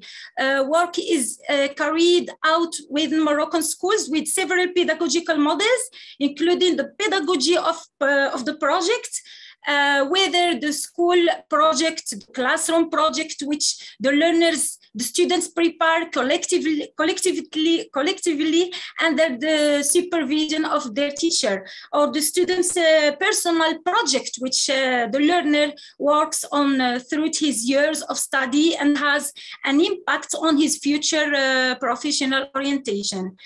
Uh, in the, I believe that the sustainable development goals should be essential in any educational system, uh, whatever it is, considering that uh, they summarize our goals that we seek to achieve as countries and individuals. And any reform, uh, whatever it is, must be based on the school as it is the first nucleus of any positive change that uh, stems from the school towards the community. And we should not neglect the role of the teacher in any change of reform. Uh, thank you again for making us a part of this successful and wonderful webinar. Thank you. Thank you so much, Ms. Hassna, for sharing your vibrant thoughts. And two very important points which I can recall you know, from your talk. Uh, spreading the culture of entrepreneurship has become a crucial for government now to uh, implement, to generate more and more self-employment. And yes, very rightly said, it is very important for any government now to enable the teachers towards the entrepreneurship education because teachers can only bring in that revolution which we are aiming at. So thank you so much for sharing your wonderful thoughts. So after two very good speakers, uh, Dr. Leo from Philippines and uh, Ms. Hassna from Morocco. Now let's hear from uh, another great speaker from Libya, uh, Ms. Marwa. May I request you to please share your views on the topic of the international webinar today? Assalamu alaikum. Thank you so much, ma'am. Um, my name is Marwa Suwehli from Libya. I'm a teacher from 22 years. And I'm, I'm, now I'm teach the chemistry for well, but great. And in Misratah uh, Central School for the teenager boys. And now uh, we have the baccalaureate degree. They will be uh, going to the university at last year. Uh, we are so late uh, in Libya uh, to complete our to complete our class this this year. of course, because Corona, that's the first things, and because I think the bad strategy for the education ministry too. So um, now I'm talking about education strategy uh, follow Libya uh, from the this last year, the last century and this century too. How we can teach her a child challenge or uh, challenge this uh, the situation, the best situation in the education uh, situation in Libya. Uh, at first, uh, at the 15th from the last century, we have a good uh, the king uh, and government, uh, old government at that time, the kingdom of uh, our uh, uh, nation now, Libya nation, but the, that in the 15th from the last century, it was this this country was have a kingdom government. Uh, at the 15 at the 50th century at the last time at the last century the, the 50th at last century uh, will start to the good and the strong uh, education system. Uh, it was free and it's very slow to development, but it's what it was uh, stable. Uh, the first education strategy used in Libya and attempts to develop them. Education in Libya is made available and free and the 50s, uh, the principle of, uh, uh, of kind great of kindergarten was established, was where the teachers as their number was very few by bringing teachers from the state of Egypt uh, at that time. Learning began in rapid development and the first university was the University of Benghazi and in 1956, followed by the Faculty of Science, Tripoli University, 1957 in Tripoli. Uh, also, many children's had in uh, the 30s during Italian uh, people. And it seemed slow, the education seemed slow, but it was effective and moving at the steady pace. As the university in Libya were according globally. And the graduates were very uh, studying to specialization together, two specializations, specialization together to make up for uh, the shortage. And many were sent abroad to return and perform their academic uh, duties toward their country. The development was continued until the beginning of the eight, of the 80s of the last century. And the Libyan students become now for their excellence. Uh, the, uh, the curricula were local and uh, written by Libyan authors. A large number of academics uh, of different nationalities were brought the universities and schools, and their own housing uh, was built at the university where the Libyan universities were with the advanced global evolution. However, they, there was being a sharp decline in education since uh, 20, 2084, uh, 20, uh, 1984, when the years of the sea, of the sea began after the, uh, the, the uh, incident, which caused her isolation uh, Lockerbie accident. accident. Uh, Libyan was isolation country. Uh, no academic anymore visit this country. Uh, this, this, the, the curricula remained strong enough to uh, mention a scientific standing for university graduates. A deadline was used, uh, was issued for what is called uh, a scientific revolution. That was uh, circulated to uh, institution, institution in which English and French book were born. This is in the primary and secondary stages. The effect, the affected the uh, out, uh, outputs of universities and become lower than before, in addition to the increase in the regulations of foreign uh, academic due to the administrative choose, uh, choose and scientific institution. And the computer were not known to the Libyans uh, until 19, uh, 1988. There is one institution for them uh, called Garyounis and long procedures take two years to obtain computer. The computer culture spread and two schools for electronic sciences, sciences were opening.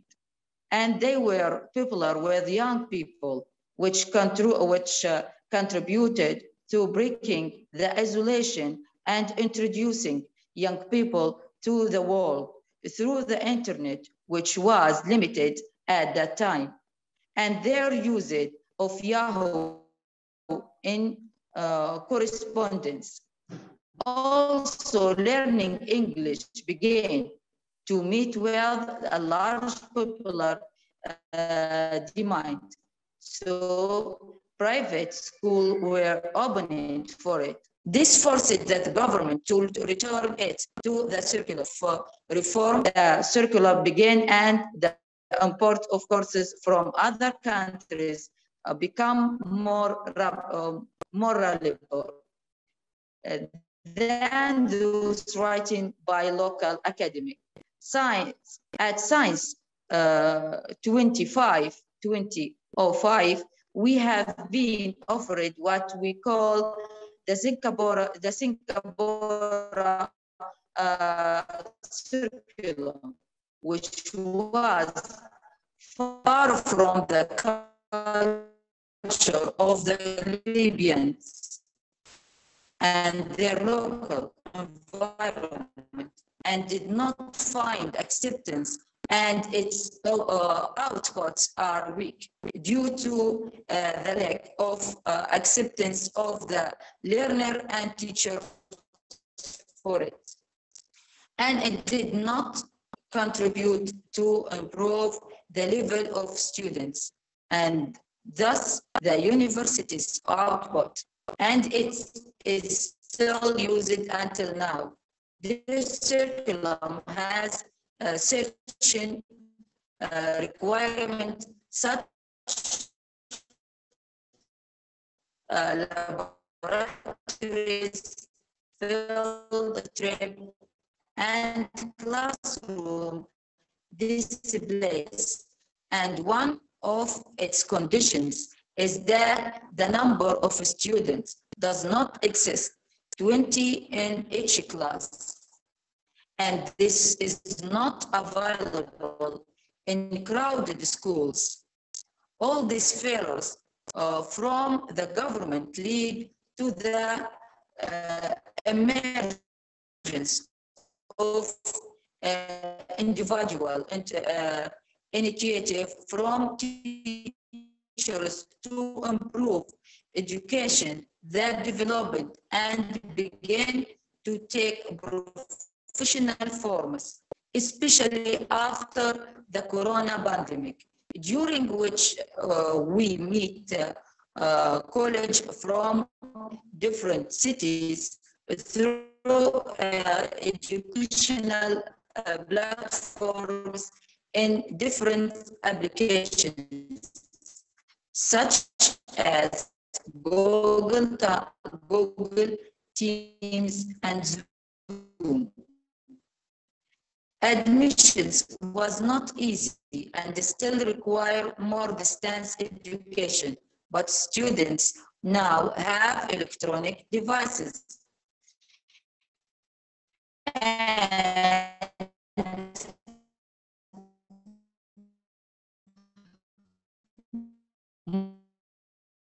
mobile phones and they it is very easy to communicate. Miss Marwa, we are, we are losing your voice. And they have become, it also uh, contributed and uh, they use all uh, uh, to start inside Libya, as mentions. Uh, this here, okay, this chance, chance. Do you hear me? Okay, thank you, ma'am. Do you hear me? Yes, yes. Can you hear me?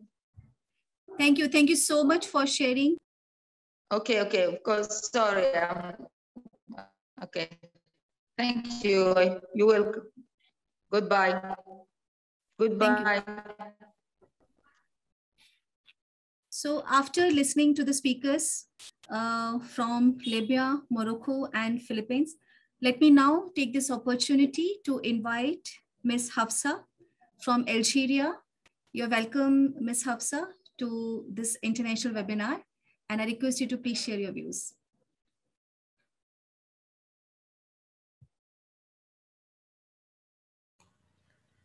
Hello, everyone. Thank you very much, Dr. Sheelan. I just would like to share my screen.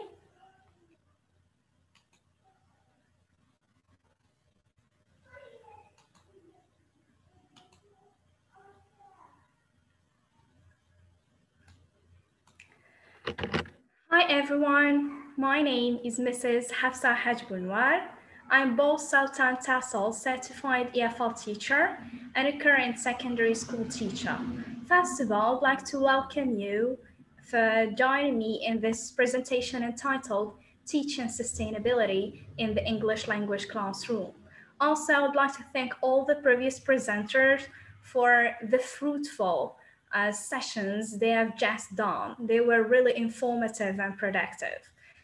Uh, also, I would like to know if you have any questions or something to say, please write me in the chat box and I'll try to answer all your questions.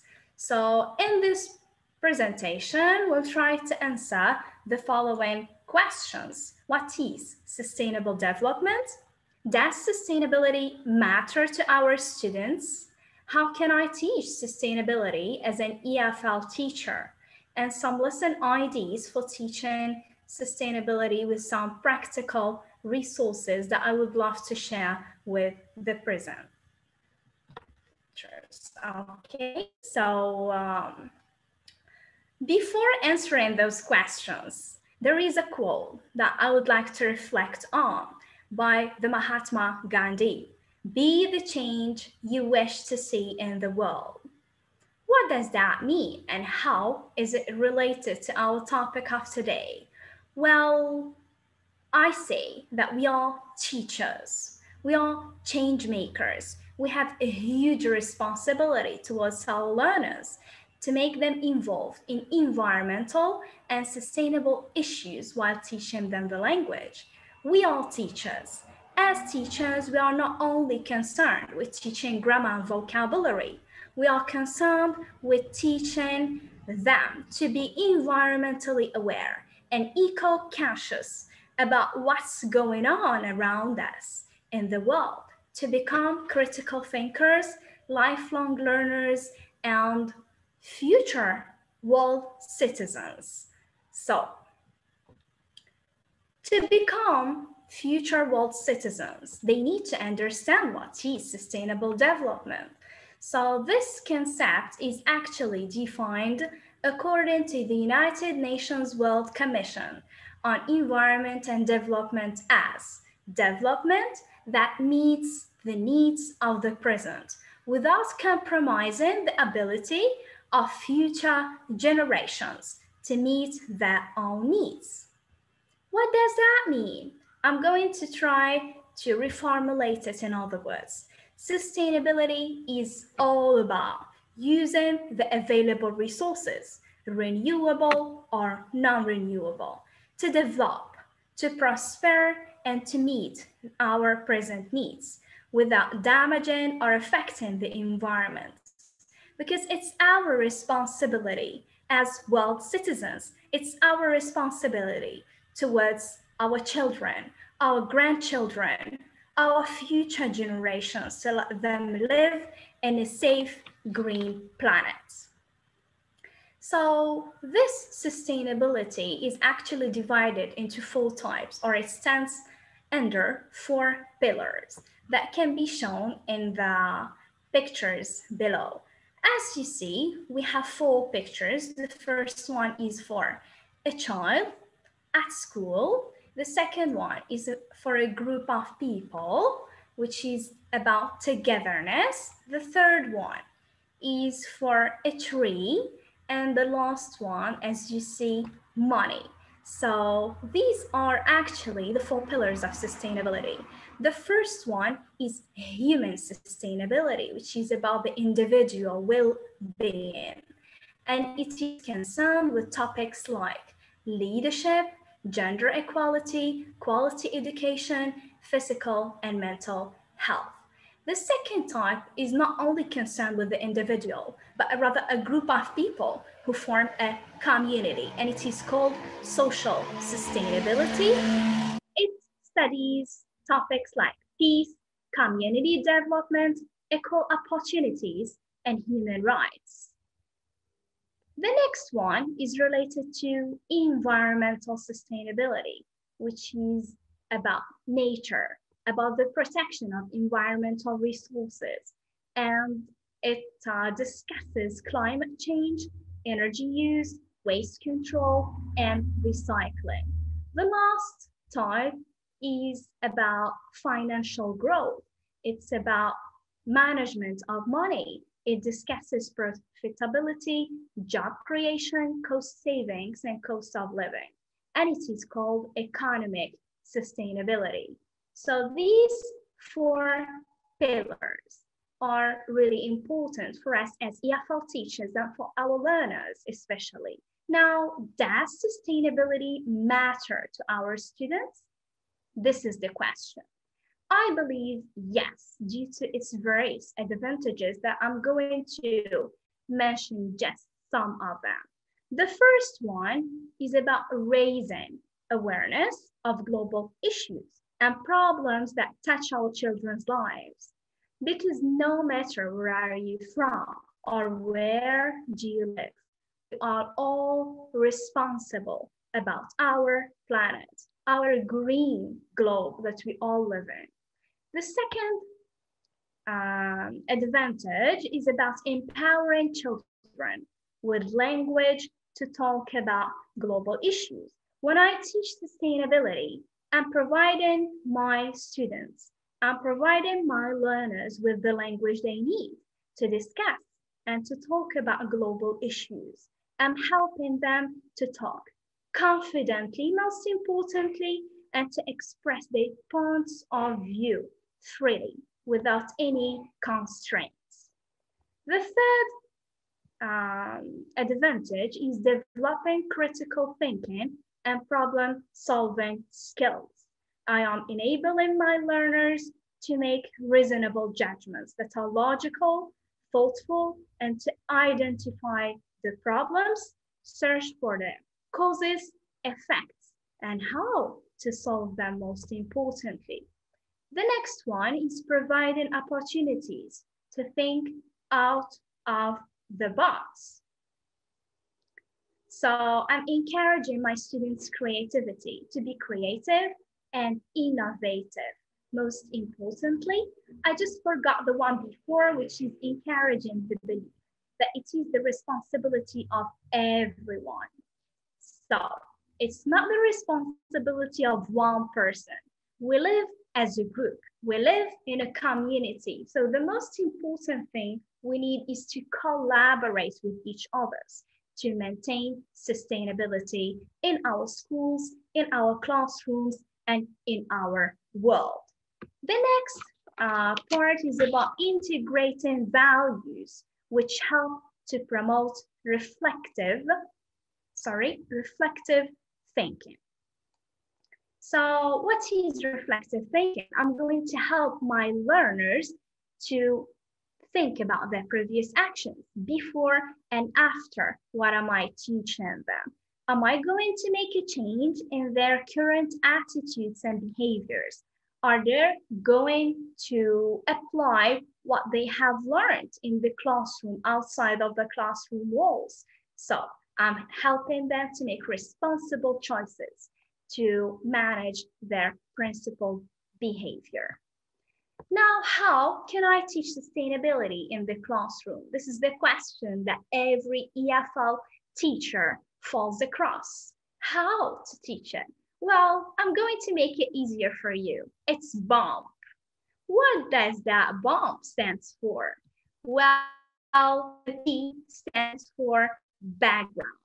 The first thing you have to take into consideration is the background of your students, their age, their nationality, their needs, level, interests, and culture, most importantly. All these play a role when shaping your lesson about sustainability. The second um, phase is objectives. As teachers, in every lesson, we must take into consideration what are the intermediate objectives for my lesson. So they, we must include collaboration between our learners. They should work in pairs and in groups. You should help them to be creative and to think outside of the box. Enhance their creativity, their critical thinking, and autonomous learning. Help them to learn not only in the classroom, I repeat, but also outside of the classroom. The third um, point is M. M stands for materials. Where am I going to take my materials from? Well, you can search online, use the textbook, uh, choose your materials. The most important thing you should take into consideration is that they have to be authentic, okay? And they have to be adapted and related according to the curriculum you are teaching with. As an Algerian teacher myself, I include sustainability in my lessons, but how and when? This is the most important question. I have, for example, a theme in second year classes, a unit about waste not, want not. So this is already about nature. I am going to include sustainable development in any phase I would like to teach. In a reading lesson, writing, speaking, grammar, any type of chaos lessons. It depends on how am I going to adapt it. Also, I should take into consideration that the learning styles and strategies of my learners are really important. I should take into consideration their multiple intelligences. I don't have only one student in my classroom. I have several students who learn differently. And in my classroom, everyone should have a chance and opportunity to learn. So I should take into consideration that I have visual learners, I have auditory learners, and I have kinesthetic learners. And I should adapt my teaching strategies and methods according to my learners, of course. The third or the fourth point is P, which is pedagogy. So how am I going to manage all these points in relation to pedagogy? They must be related to communicative language teaching. I am there to help my students to learn the English language, most importantly. I should give them an opportunity to speak and to express their communicative language skills, to be able to communicate effectively in the target language. Also, it should be student-centered. They are the center of the learning process. As a teacher, my role there is just a facilitator a guide, an inspirer who is there just to give them a help, a hand of help, not to be the knowledge holder. So here I would love to share with you some lesson topics for teaching sustainability. Um, they, I have tried some of them and they are really interesting, especially for young learners. The first one is uh, reduce, reuse, recycle, uh, the three R's. To cut back the amount of trash we generate. So uh, the second uh, topic is about food waste. The third one is about alternative energy resources, solar energy, wind energy, etc. As an Algerian uh, citizen myself, my country has only or most efficiently non-renewable resources. So I should make my learners aware of the alternative energy resources we will need in the future. The Amazon rainforest is just a wonderful topic. Also, you can adapt it to your country. Any famous rainforest in your country would be just engaging for your learners, biodiversity and pollution with its several times. Now, some lesson activities for teaching sustainability. We have the first activity that I've personally tried with my learners and they really enjoyed it.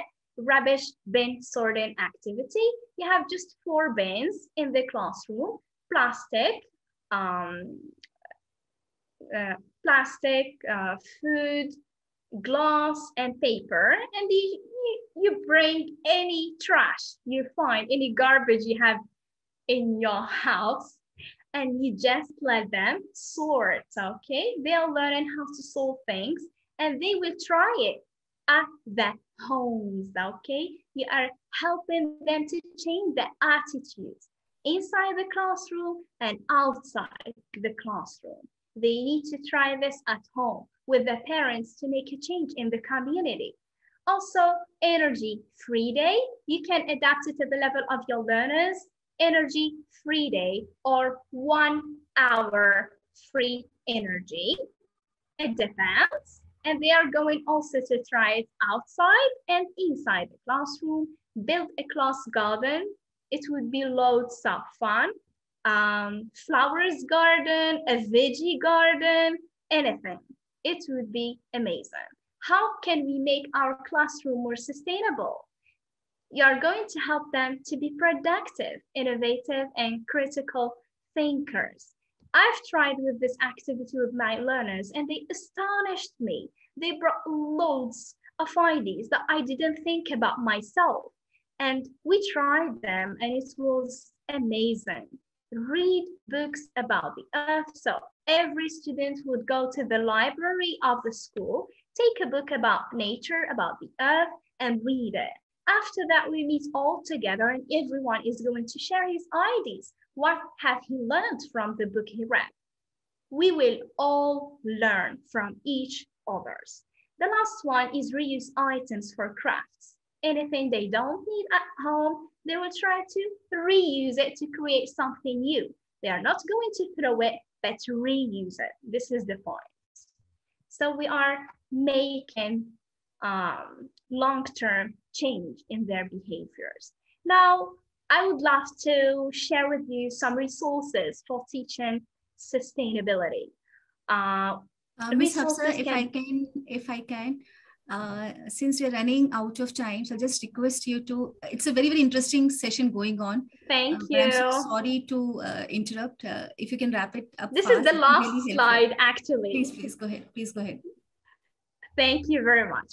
So resources for teaching sustainability, you can find resources everywhere. But here I would love to share just some very important ones that any EFL teacher would need.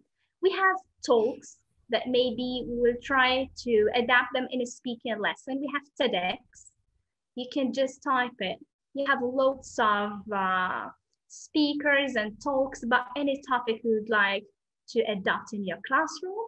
We have MP3 audios for a listening lesson. I would love to share with you listenaminute.com. It is really interesting and you will find a lot of resources for yes teachers that you can adapt in your classrooms. At any level you want, beginner, intermediate, advanced, everything is there. We have videos from YouTube, of course, The famous YouTube. Uh, if you are tired, there are ready-made lesson plans. Just go to sustainablelearning.com. Everything is there about sustainability. Any lesson you'd like to adapt in your classroom, it's already made. You have just to take it, print it, and teach it. We have photos, picsforlearning.com, and we have songs. Our students really enjoy songs. So songs for teaching.com about nature and sustainability are really interesting to make them as a resource while teaching your language. As a photo, for example, this photo is really um, informative for our learners. We can adapt it as a warming up or leading activity. So thank you very much. I really enjoyed presenting this uh, workshop for you. Thank you. Thank you, Ms. Hafsa, for such a wonderful sharing. Uh, we wish you would have really more time to listen to you. Uh, uh, as you said, students need to have awareness of global issues and something as important as sustainable development goals as well. And BOM model that you shared is really, really very amazing. Now, moving on to our next speaker, uh, Che Azura Hanim, may I request you to please share your thoughts and also request you, uh, you know, in favor of time uh, because we are lined up with few more speakers after our panel. Yes. Uh, so I think uh, first of all, I would like to thank uh, first hello and uh, I hope that all uh, of you are all in uh, good conditions because I think all of us are facing a pandemic currently, right? So first of all, I would like to thank the organizer for inviting me to to share my views in this wonderful conference. So Dr. Sheelan, how many minutes do I have? I try to wrap up as much as I can. So basically uh, today I would like to share with all of you in terms of my uh, journey as a edupreneur. Okay, uh, I think about eight years uh, as uh, educator and then I just uh, going into it, uh, entrepreneur uh, leading the InnoHub, which is uh, research uh, from our research in the lab uh, to be a, a small startup company. So maybe I would like to share with you because our topic today is about the role of innovation and entrepreneurship. So I'm not sure whether how many of you are aware about design thinking because I think in order to make sure that our students have both uh, skills in innovation and entrepreneurship, I think uh, we need to teach our students in terms of uh, design thinking. I think design thinking is really important because uh, in design thinking, uh, our students will be introduced in terms of uh, they need to be empathized, they need to define what is the current uh, real world problem, and then they need to ideate, and then they need to come up with prototype, and then they need to test the prototype. So uh, usually for in my class, although I'm teaching uh, different subjects uh, in uh, my faculty, but I usually uh, put this design thinking in each and every uh, class and then try to put like, for me, I think each and every topic in my lecture as well, I try to relate with the design thinking because I strongly believe that all human beings have an ability to uh, design. So I think I would like to give the uh, freedoms to my students in order to make sure that uh, maybe previously they don't have the opportunity to, to design something, right? So in my class, usually I start with design thinking and then uh, we would like to, uh, to have a look towards the end of the semester, how the student can achieve the, uh, the what they learn through the design thinking. So uh, apart from that, I would like to share with you because when we talk about innovation, because uh, currently as a in uh, because University Putra Malaysia is one of a research university, so basically in our uh, class also we need to make sure that our students know how to do research. And because I'm teaching uh, physics and nanotechnology, and then I think now because uh, entrepreneurship and innovation, we also need technology. So basically, um, what I I can uh, what I can uh, say that when I have a look at the the entrepreneurship, they have their own uh, step, and the step as entrepreneur is similar to step as a, a research or innovation. First, you need to make sure you need to investigate the or you need to know what is the uh, what is the current problem. Okay? And then you need to or usually in uh entrepreneur we have what we call if you come up with a product you need to know what is your usp right? Unique selling point. So similar as entrepreneur and then in research or innovation you need to know what is the unique uh, selling point of your uh, research as well. So of course the first one in research you need to know what is the current uh, problem and then how can your research overcome the problem the next step in uh, entrepreneur, the first one is in investigation or research phase. The next step is planning. So similar in entrepreneur or in innovation, we need to have a planning phase followed by a, a startup phase or uh, in research, we need to uh, what we call uh, do some optimization optimization in lab. So similar to entrepreneur, we need to uh, do what we call a market validation. Okay, so then we need to uh, do the operation and then monitoring followed by what are the problem uh, or what are the challenge that we face. So similar in uh, research. So when you conduct the research, sometimes uh, you have the hypothesis, but you cannot, after you conduct the experiment, sometimes you didn't uh, achieve the hypothesis. So that means that you are now are having what we call problem or challenge. Then you need to do what we call uh, अब ये देखिए bye mapping से start by mapping से start करना ठीक है sorry Yeah, okay please go uh, ahead. okay so then uh, followed by we need to have a look what are the next uh, level so maybe once you know the problem then you need to overcome or you need to find another uh, approach so uh, in our group usually uh, for currently because like my students um, in terms of research uh, we are focusing on sdg uh, 3 which is health and well-being so for example, in health and well-being, we know that uh, in, because Malaysia also developing country and then uh, currently my research focusing on cancer. So what uh, we have a look is, you know, like when uh, a person that being diagnosed with cancer, sometimes the problem is the cause. So in my research, I would like to uh, educate my students. Is it possible that with the knowledge of design thinking, with the knowledge of uh, nanotechnology, with the knowledge of uh, synthesis of uh, new materials for uh, cancer research, is it possible for us to come up with a very uh, cheap materials for targeted drug delivery? Because I think uh, the cost for uh, cancer treatment is uh, quite quite high because of the uh, because currently we are uh, rely on the high cost uh, drug, for example. So that's why uh, currently uh, we are focusing on the health and well-being. Apart from that, I also uh, focusing on quality education. So for in terms of quality education, I try to use uh, a lot of uh, different approach in class so that the students not only uh, learn about fundamentals. So they need to relate the fundamentals that they learn in class to the real uh, world problem. And then how can they use uh, whatever that they learn in order to overcome the, uh, the real world problem. And the next, uh, I would like to share uh, because currently I think uh, in Malaysia, we also uh, having a problem with uh, clean water and sanitation. So that's uh, another area that we are focusing on.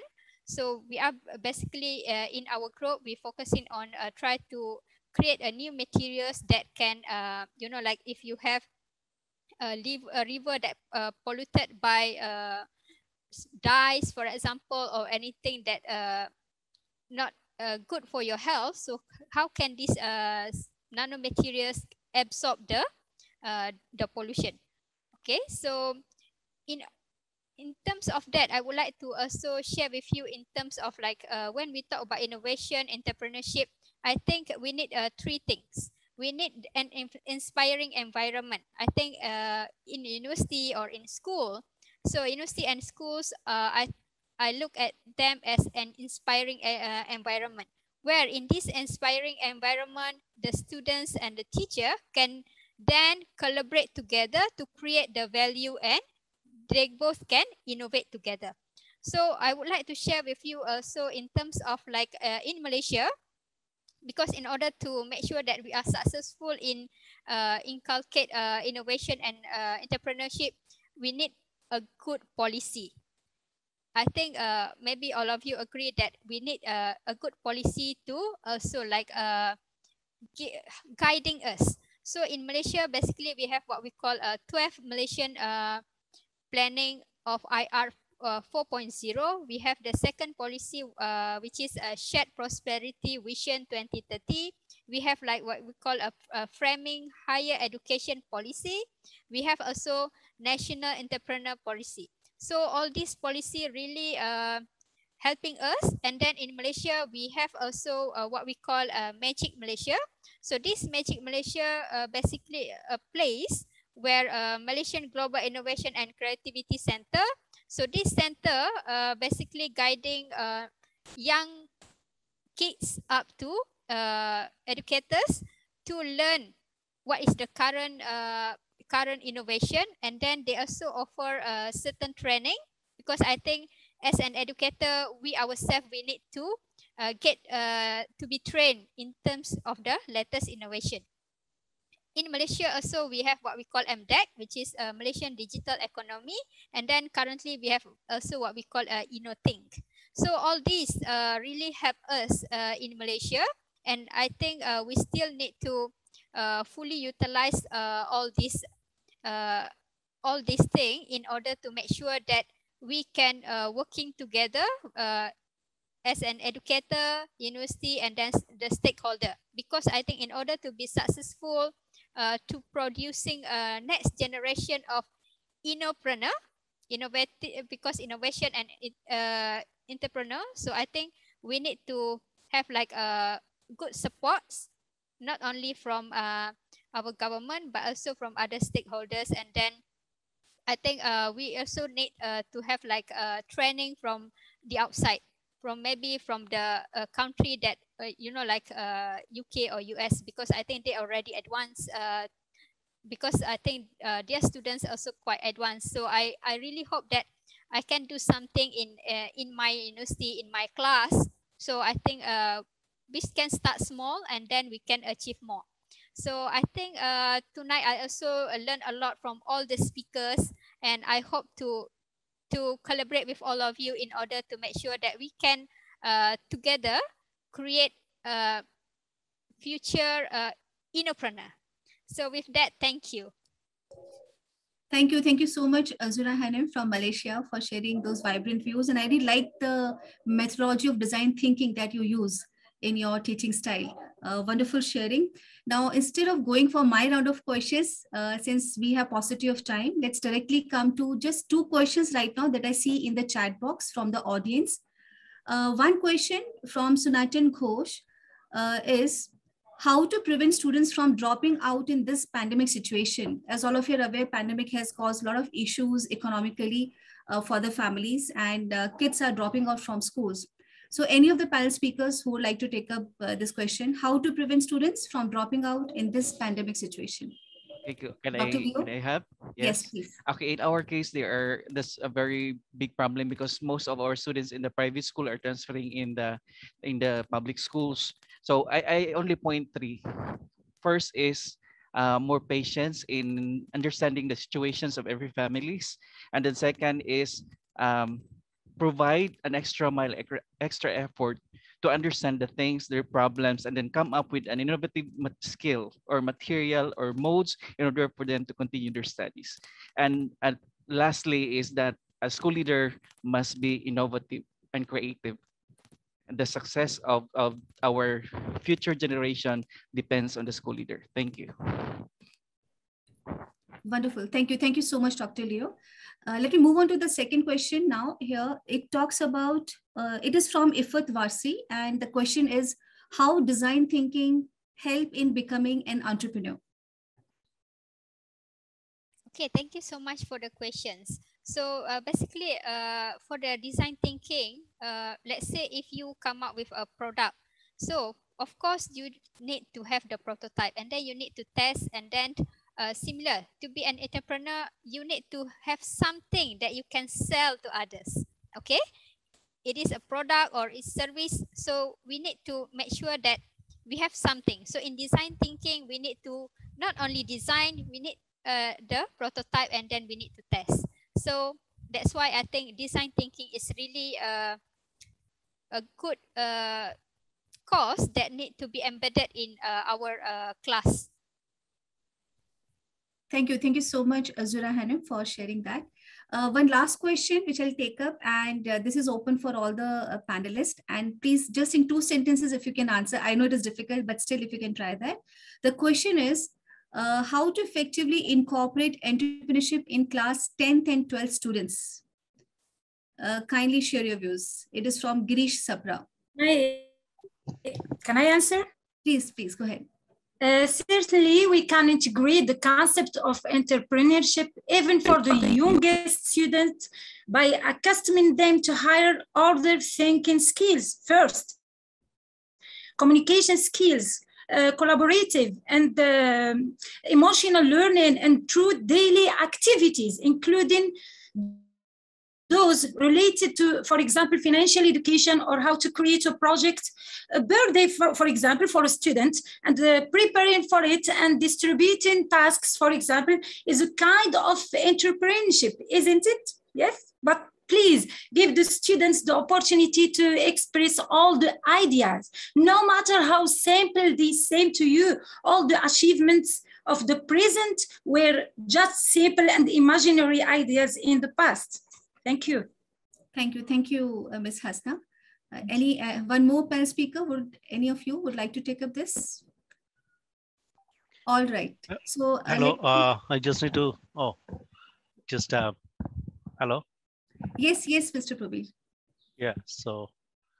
Yeah. So I guess uh, one of the things is uh, very important, right, from the school education, right? Provide um, one of the thing is the career uh, counseling session, like a seminar. Or the other thing is, uh, I believe on entrepreneurs like the what are the options are there? For example if in india specific the or particular city what are the entrepreneurship options are there? So the seminar inviting speakers on that so that students know that. And then the other thing is the statistics. What is the current statistics right? What is going on in the market? So the market statistics those has to be shared with the students.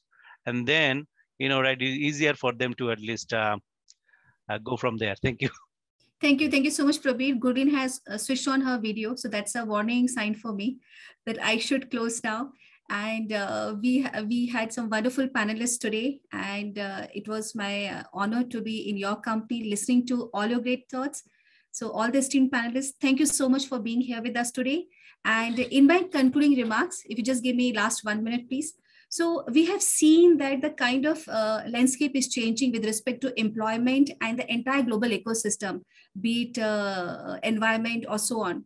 It has become more and more critical that children not only learn what they're learning, but also learn how to learn uh, more advanced technologies right? So education is moving from less content and more towards how to think critically and solve problems, how to be creative, how to be multidisciplinary, right? So this is how the pedagogy has to be evolved, which will uh, cater to these needs.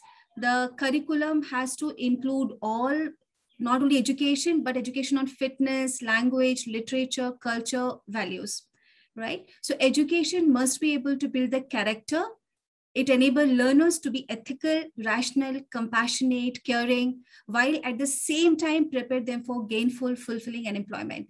And let me close with this saying from Nelson Mandela, where he has mentioned, education is the most powerful weapon to which can be used to change the world. And I think that's what all of all the educationists around the world are aiming at. And that's what we gain from all the eminent speakers today. So thank you so much for sharing your vibrant thoughts. And thank you, Gurleen, for allowing us this time to spend in the panel. And uh, over to you. Thank you so much, ma'am, for being the moderator for the, today's panel discussion. And thank you all the panelists also for uh, giving us such a great information and it was really a great session.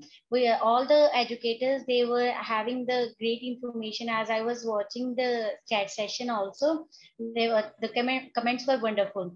Thank you all. And I would also like to thank Mr. Edward to uh, he's side by answering the questions in the chat box uh, while we are having the panel discussion. Thank you so much, sir. And thank you to all the panelists and thank you to you, ma'am.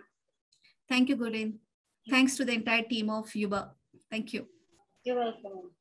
Next, we would uh, uh, we look forward for the presence of Dr. Sujeewa, Senior Lecturer, Ministry of Education, Colombo, Sri Lanka, on a platform and brighten us with your information on topic Kids Innovation during COVID homestay. Over to you, ma'am.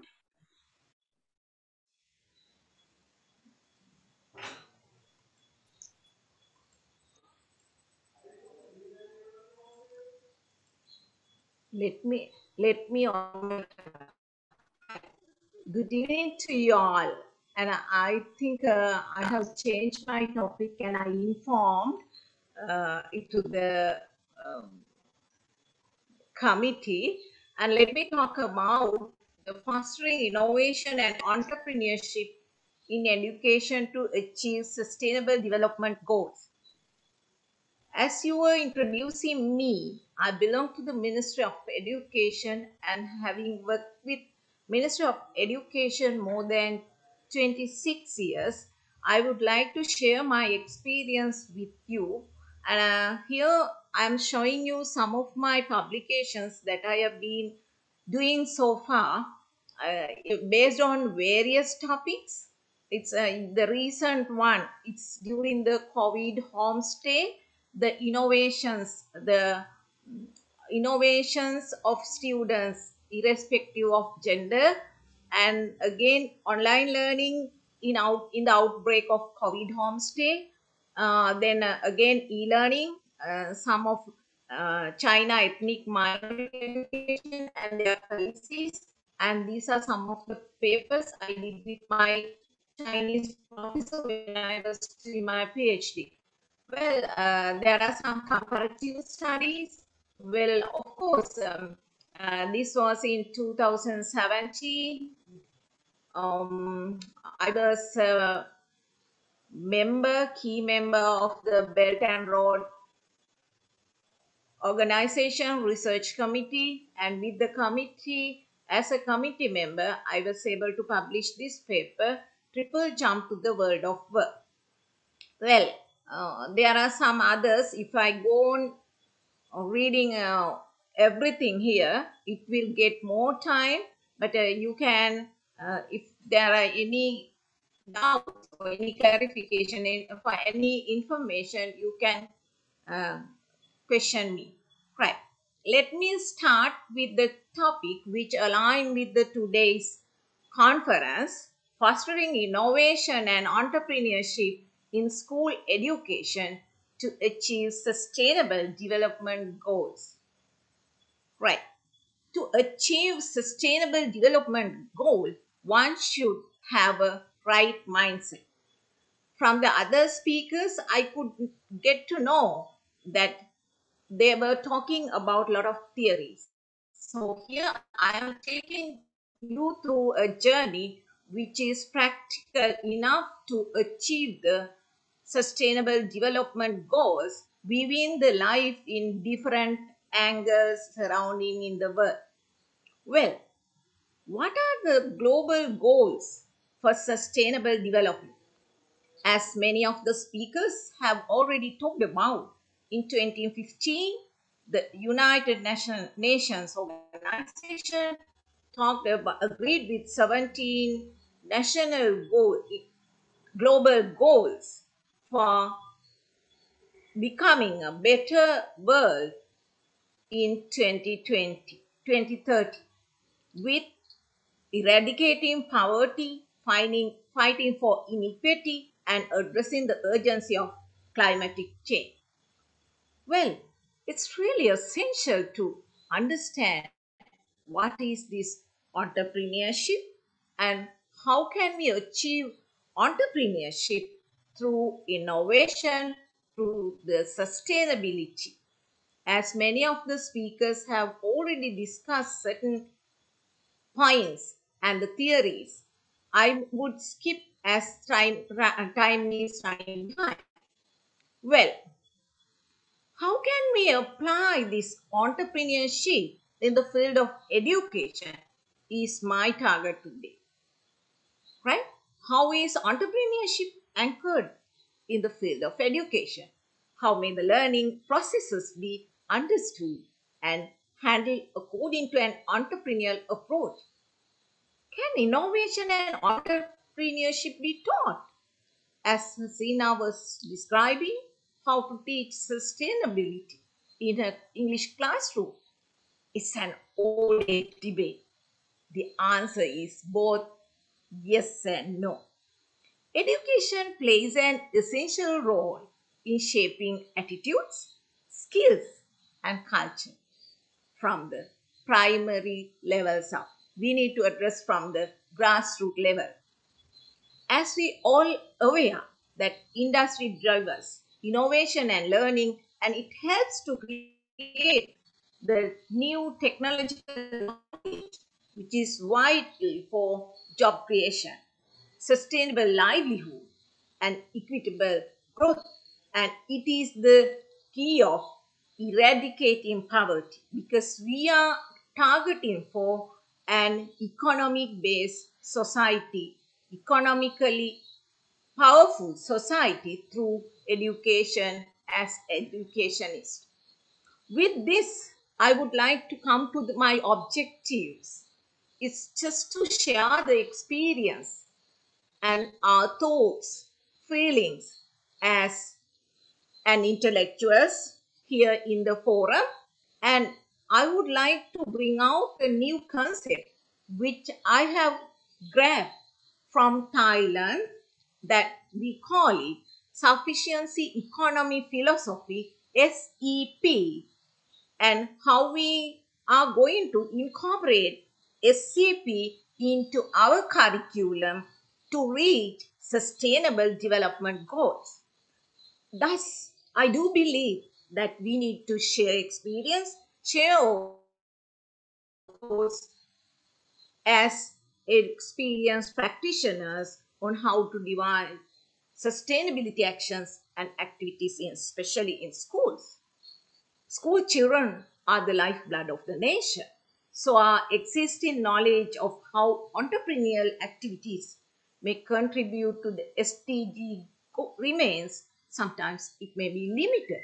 There can be experts who are veteran in this field.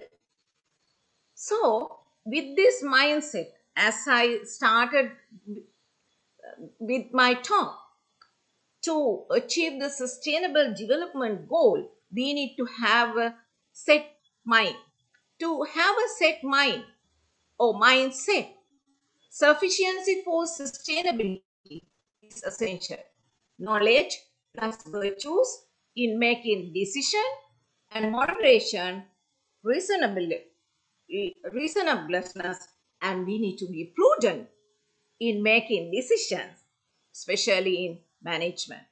For economy, perhaps for society, and for environment or culture. The outcomes of these Sorry to interrupt should you, reflect balanced progress. Excuse me, ma'am. Hello?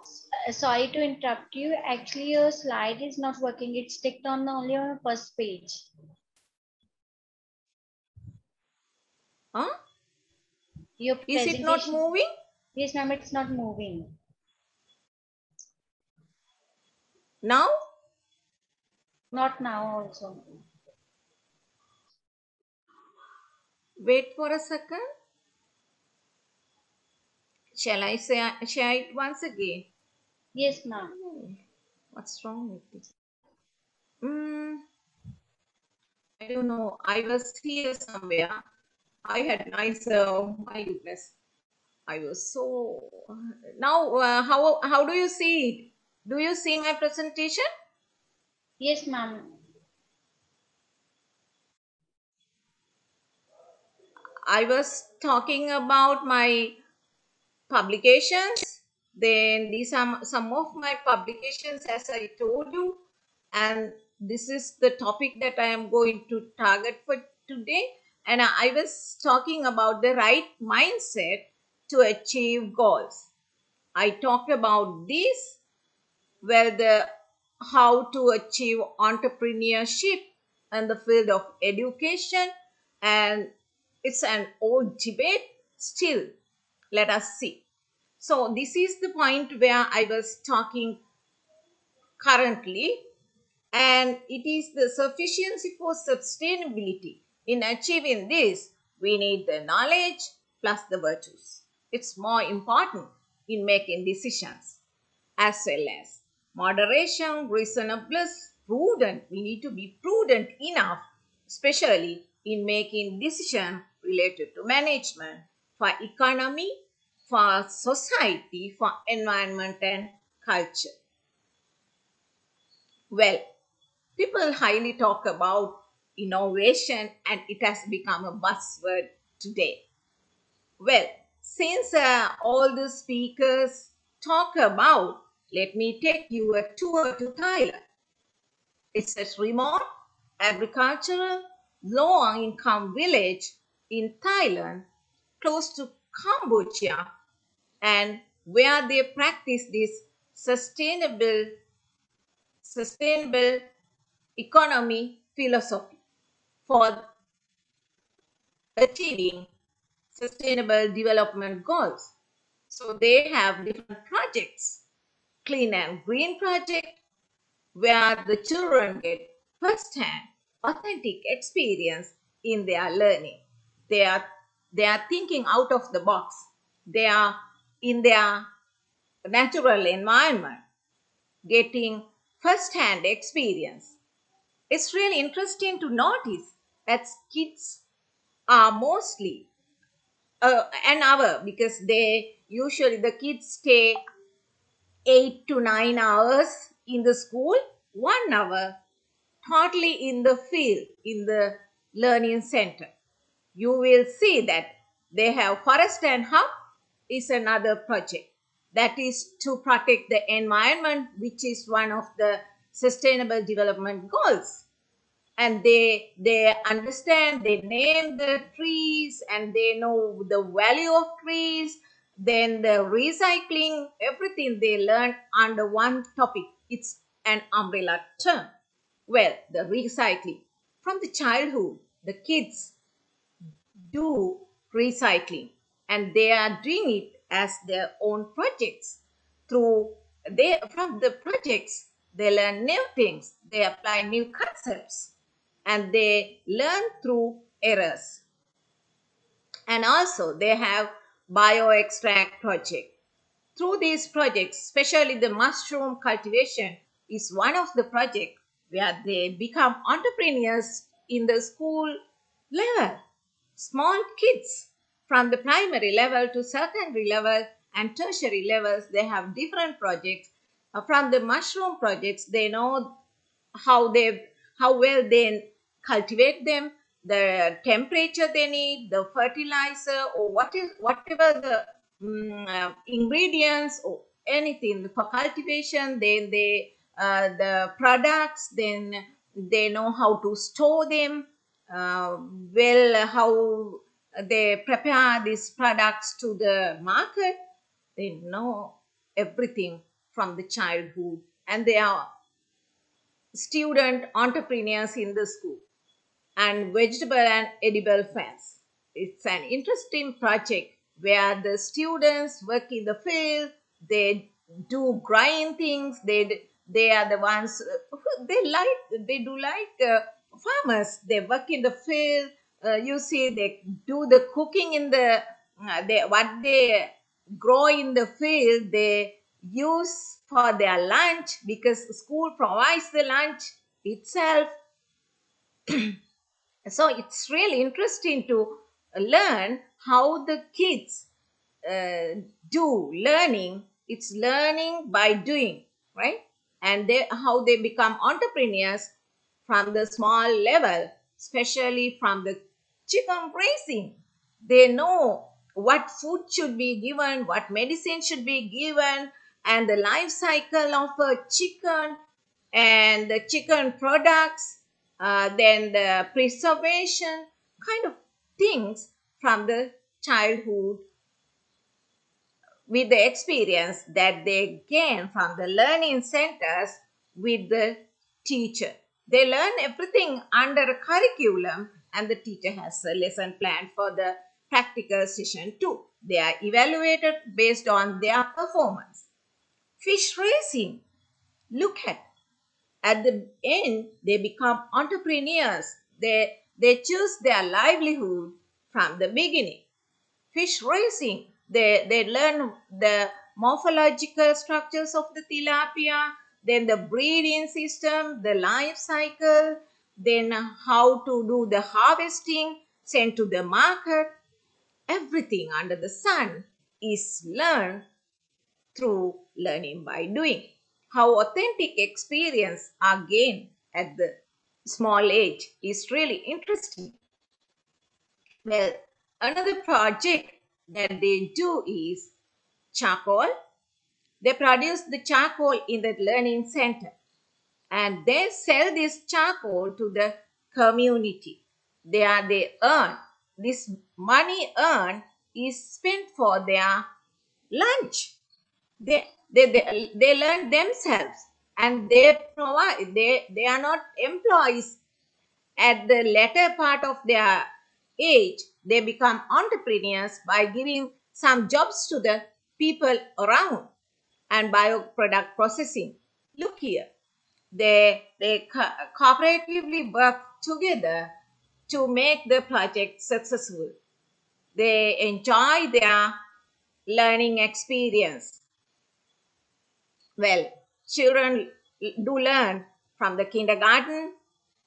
They start the first project in recycling the things so what do they do why do they do this is scp SCP, sufficiency economy theory. They become entrepreneurs at last. So, as educators, we need to be strategic in project, in promoting project-based learning. In is teaching strategy where students learn by actively engaging real world and personally meaningful projects.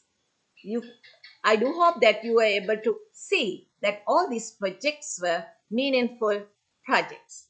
Also, they learn through inquiries. Inquiry learning is a student-centered approach.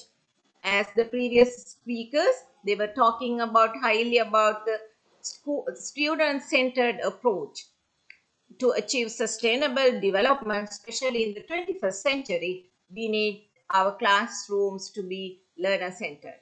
So this sustainable eco economy policy, it, we, it leads to a sustainability. So through this SCP concept, Thailand is trying to reach the SDG goals for achieving the 2030 National Development Goals, SDG goals. Right? Then they are the pillars. There are goals. The goals were set to be based on the three pillars. And also balance environment, namely, these are the three pillars, economy, society, and environment. So, how do we do this? The pedagogical methods we need to promote to achieve them. Open learning, where the children do the learning outcomes, they achieve the learning outcomes at the end of the project finally. Active learning, they do cooperatively, they work together, they share experiences, they communicate and learning experience beyond the classroom. Yes, they are just not sitting in the classroom, they are out of the classroom getting the authentic learning experiences. So the learning atmosphere is different and they you need to en- eh, promote and foster collaboration and teamwork, encouraging for them to have new ideas, to develop their creativity, and also to develop emotional intelligence, tolerance, flexibility, like those are the qualities that we expect from a 21st century student. And also their thinking strategies, perhaps critical thinking, logical thinking, and problem solving thinking should be developed. So from these thoughts, steering from these thoughts, what I gained from the uh, course I have been following these days in Thailand, I would like to suggest you that we as intellectuals, educationists, we need to practice what can be practiced actually in the society out of the classroom. Thank you so much for being patiently listening to me. You're very welcome. Uh, and it's high time for you to raise questions if you have anything to be raised of clarification. Thank you so much, ma'am, for sharing your knowledge with us. I request the educators if they are having any question or any query, they can raise their hand or they can pop their message in the chat box.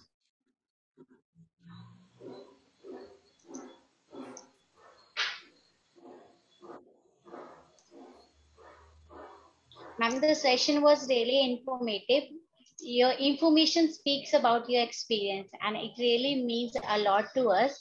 As the educators or educators were messaging in the chat box that they came to learn about the new things. And really if they are getting the new things that means they are going to implement in, uh, that things in their life. Thank you so much ma'am for being with us. You all are welcome with this, I would like to thank all the speakers for enlightening us and attendees for making the conference successful. This was two-day conference on fostering innovation and entrepreneurship in school education to achieve sustainable development goals. Yesterday and today, we had a brilliant, outstanding speakers. They shared their knowledge, personal experience, and learning, point, learning points with us, and by which we all gained a lot, and it's going to help us in the future by implementing it in the real form. Uh, next, uh, because of some technical issue, uh, weather uh, problem, uh, next speaker he is not able to join us today. So with this, we are ending up a session. The feedback form will be mailed to all the uh, educators on in on their email IDs within one to two hours, so they can fill the feedback form and they will receive the certificates. If you are having any query or any question, you are free to ask.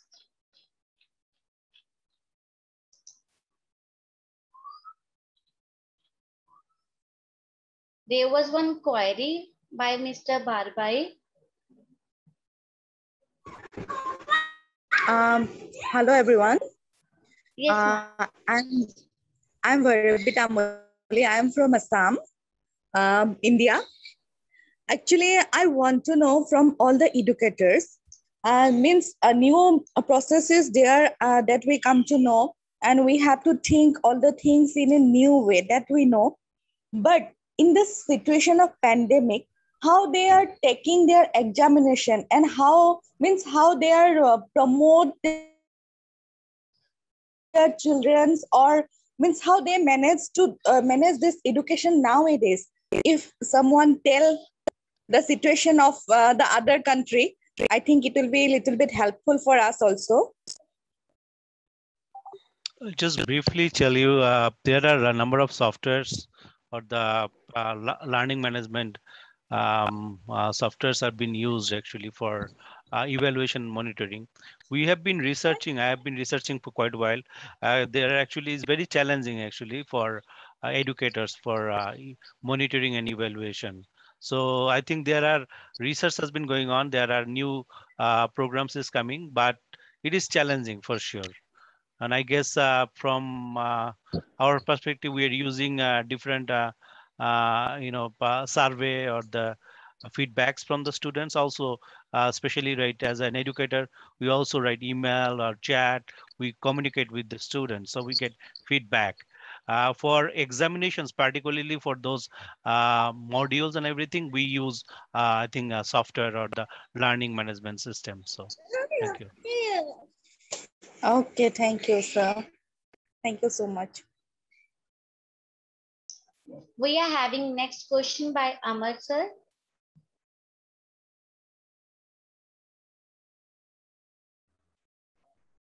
First of all, good evening to all. And uh, this is Ajad Ahmed. Actually, I'm an educator of social science, basically. So my um, humble request to the educators or the eminent speakers that so my question is that how to inculcate or how to motivate the students at the secondary level that is from 9 to 12 level students that to become an entrepreneur or to think about the out of the box since we are right now providing only the uh, basic educations or you can say that the traditional educations. We are not actually providing inculcating the entrepreneurship skills despite of we are uh, pretending that we are providing the educational skills and the skill based education and experiential learning but we are actually on grassroots level still we are not providing the same. So i think that how to inculcate or how to take attempt over that particular so the 21st century generations and the this uh, years students are actually trying to become job provider rather than job seeker so my question is with uh, Mondol sir dr leo and the, all the mm, panelists who are in the discussion so i think that i am clear with my questions Okay, so uh, am I audible? Yeah, sure, sure. Okay, so in the Philippines, we have our one of the subjects, technology and livelihood education, and there's uh, different uh, specializations or focus. It depends on the school leader and what to adapt. Like for example, in my case, we adapt for grade 10 uh, baking and pastry. So we, in that case, we train already our students how to how to do the marketing and then the the, the listing all the price and then do the costing in that particular simple way. They will, they were able to to to do small business. And now they are applying during their vacation for two months before the Mm-hmm. opening of the school year. Uh, some of them were able to to apply what they learned. So in that simple manner also we we invite uh, br- bread factory. Like for example in the philippines we have gardenia. Uh, they also provide trainings that free training uh, virtual tour in their company. And then they provide also some materials for our students even in the preschool so they they also provide uh, simple uh, recipes or ingredients in order for for the students to come up thank you Thank you so much, Dr. Leo, You're for welcome. the wonderful answer you have given. I will try to communicate with my chairman and the principal, sir, to have such type of educational tour and industry tour as well. Thank you, sir. you're welcome Thank you so much, sir. Are we having any other questions uh, from the educator side? If yes, please raise your hand or uh, put it on a chat box.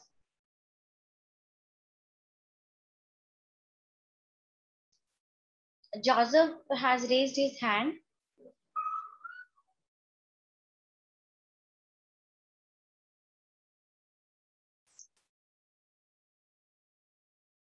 I request the IT team to please unmute the Joseph.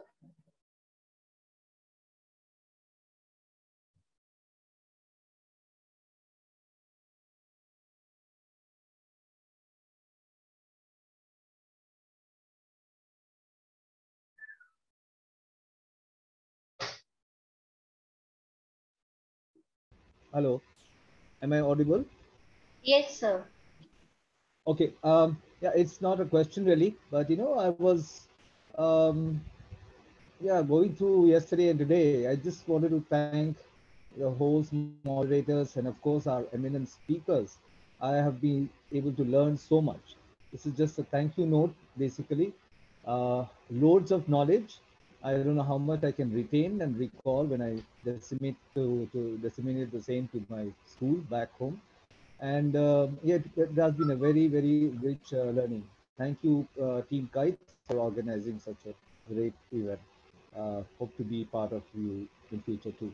We have a, a team already on WhatsApp, 39 students with me, and uh, previous to this also we were thinking on these lines because I teach uh, history and uh, political science. History classes are not always very interesting, so we add uh, keep adding, you know, value education and uh, individual child care into these things and uh, what we but this uh, conference especially has added a lot of value to our ongoing work. Thank you very much all of you Thank you, Mr. Joseph. It means a lot for the KITE uh, uh, organization and for the speakers. if anybody else who want to have words with the speakers,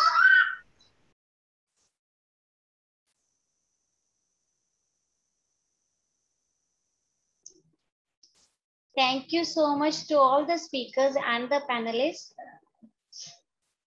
Mr. Sonatan, he has raised his hand. Uh, hello, everybody. Thank you for giving me the opportunities for asking this question. Uh, I did not get the chance to ask this question, so I am asking this question now, sir. So give me chance to ask this question. Okay. My question is, how can emotional intelligence be improved?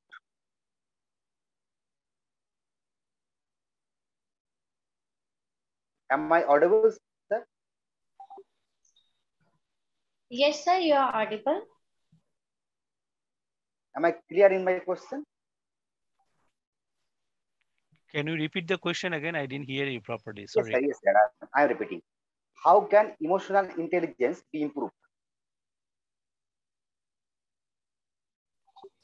So I guess the emotional intelligence, uh, the practice is, um, there are many techniques that you mindfulness, as I say, shared with you those five you know areas. So you need to have those self uh, uh, self-awareness, um, uh, which is very important, the first step actually. So uh, when you have the self-awareness, uh, then you know, right, where you are at. I always ask a, one question always, right? You should know, right, as a person, right, where you are at right now and where you want to be and how you want to achieve that one. So when you ask the question, uh, then you know, right, how you can get it. Then as a, you know, right, um, you and you can get resources you can ask others you can get mentors you can get coaches.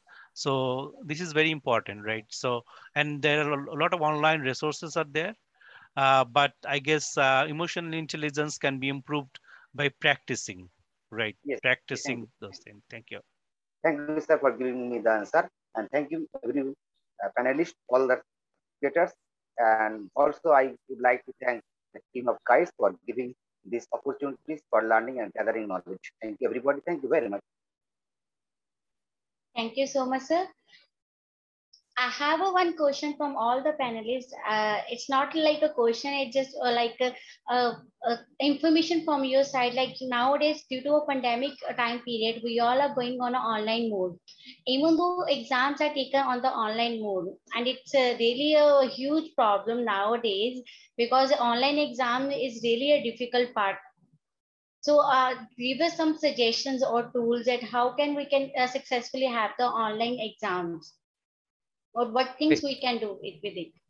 Okay, so I, I, I think this based on my experience, we just had our orientation meeting with the parents of my my youngest daughter, uh, who is in grade 12 now.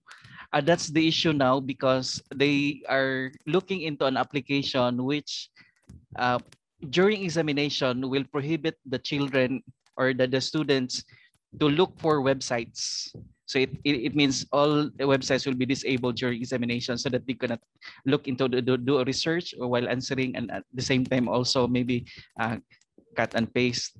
So that they are using lockdown i i i that, that's a software but the problem now is they are going to there's an issue about technicalities in terms of the device because you need when you apply when you download the, the application you are required to disable the the firewall. So it means your your device is not anymore protected. So so far that's our concern. But most of the schools because i'm also um, facilitating private schools because most of the private schools in the philippines are utilizing online learning online distance learning. So most of us are just focused on the ordinary learning management system. But so far not much with how to prevent cheating or, or those in terms of examination because these are our challenges. okay. Thank you. I guess, can I have a minute? Just yeah. uh, share my experience. Yeah. I guess one of the thing challenging right now is that because of those things, I think I have seen more open-ended or open question. When you are actually design the questions or anything, one of the surveys or the questions come how it can be improved, right? We need to have some kind of a feedback and interactions. And also keep in mind when we are actually for a particular group of students, it can be designed uh, specifically, for example, learning disabilities or someone who is having challenges. So there are a number of set of questions uh, that can be designed. So it is very important that it has to be interactive. This question has to be um, specially designed or customized to the student so that we can get a feedback. Uh, I have seen right here in North America, not like we are not worried about things. Sometimes open book exam, but open book exam also very uh, challenging, like a case studies or you know some other things where you know right you have more creativity or more innovations, more practical approaches are there. So I guess it is, I have seen here mostly in North America is actually mostly the application based questions are there. So it doesn't matter whether you are serve web browsing and everything, you don't even have a time to do that because uh, the type of questions that you are answering. So it is very important just to uh, design. It's just not typical questions uh, that you are asked designing every time. So it's very important to uh, redesign the questions or things. Yeah. Thank you so much, sir. Now I would like to ask again if anybody is having any question or any query because the session is really informative and it really means a lot. It seems like uh, Girish, he, is he or she is having a question. Raised, he or she has raised his hand. Hello. Yes, sir. Uh, first of all, I would like to congratulate Kites uh, for organizing such a wonderful event. And I'm very thankful to the eminent speakers who have given share their views. Uh, sir, my question is uh, basically, uh, as you have answered, try to answer. My question was, uh, as you said, uh, we should do what we love or love what to what we do. Can you please elaborate? I mean, this question was asked to me by my MTech student, uh, but I was not very clear at that time.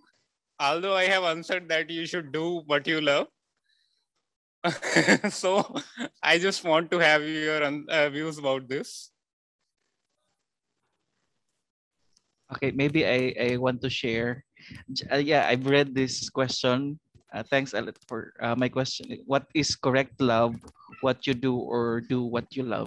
So uh, the same as teaching, you cannot you cannot give what you do not have. You cannot teach what if, if you don't you don't, you are not equipped. So the same thing. We have the so-called multiple intelligences. So we focus on the the strengths of the skills and the abilities of our students. Focus on that in order because we cannot apply uh, one strategy to all students. So that's why we have the differentiated instructions. So that's my take for this particular question. So support to support, yeah, your support as a parent and at the same time as an educator, we have to support the abilities of our students. Thank you. Yes. I would like to share one thing, right? This why, ask why. Actually, if you don't enjoy, ask questions about to yourself. Ask why, why questions. So I am learning this one. Uh, if you ask why questions, why you are doing that one, why you are passionate about love. If you are loving, you know, right, or if you do, right, if you love what you do, I guess uh, is very important. So ask why, question to yourself that what you love to do, right? So, and then you will find answer. It is very introspection, right? Introspective, you know, right? Question. So it's very important to ask this question to you self? Uh, yes, sir. This question is mainly uh, from the students who are uh, switching to uh, their career after 10th or 12th, deciding the fields of engineering or uh, whatever they are going to do in future. So that question is really difficult at that point. But as you have mentioned that uh, we should ask why, I think the key to answer is this much. The right thing about uh, you have said? The answer is how, uh, why and how. Uh, so thank you, sir, uh, for sharing your views. Thanks a lot. Now, I would like to thank all our speakers again for such a great information as we have gained a lot. I would like to thank uh, educators also for attending the webinar and making it uh, successful and clearing their queries and doubts in the field of education with respect to entrepreneurship. With this, we would like to end the conference, a two-day conference on topic posting innovation and entrepreneurship in school education to achieve sustainable development goal by the team kites. Thank you all.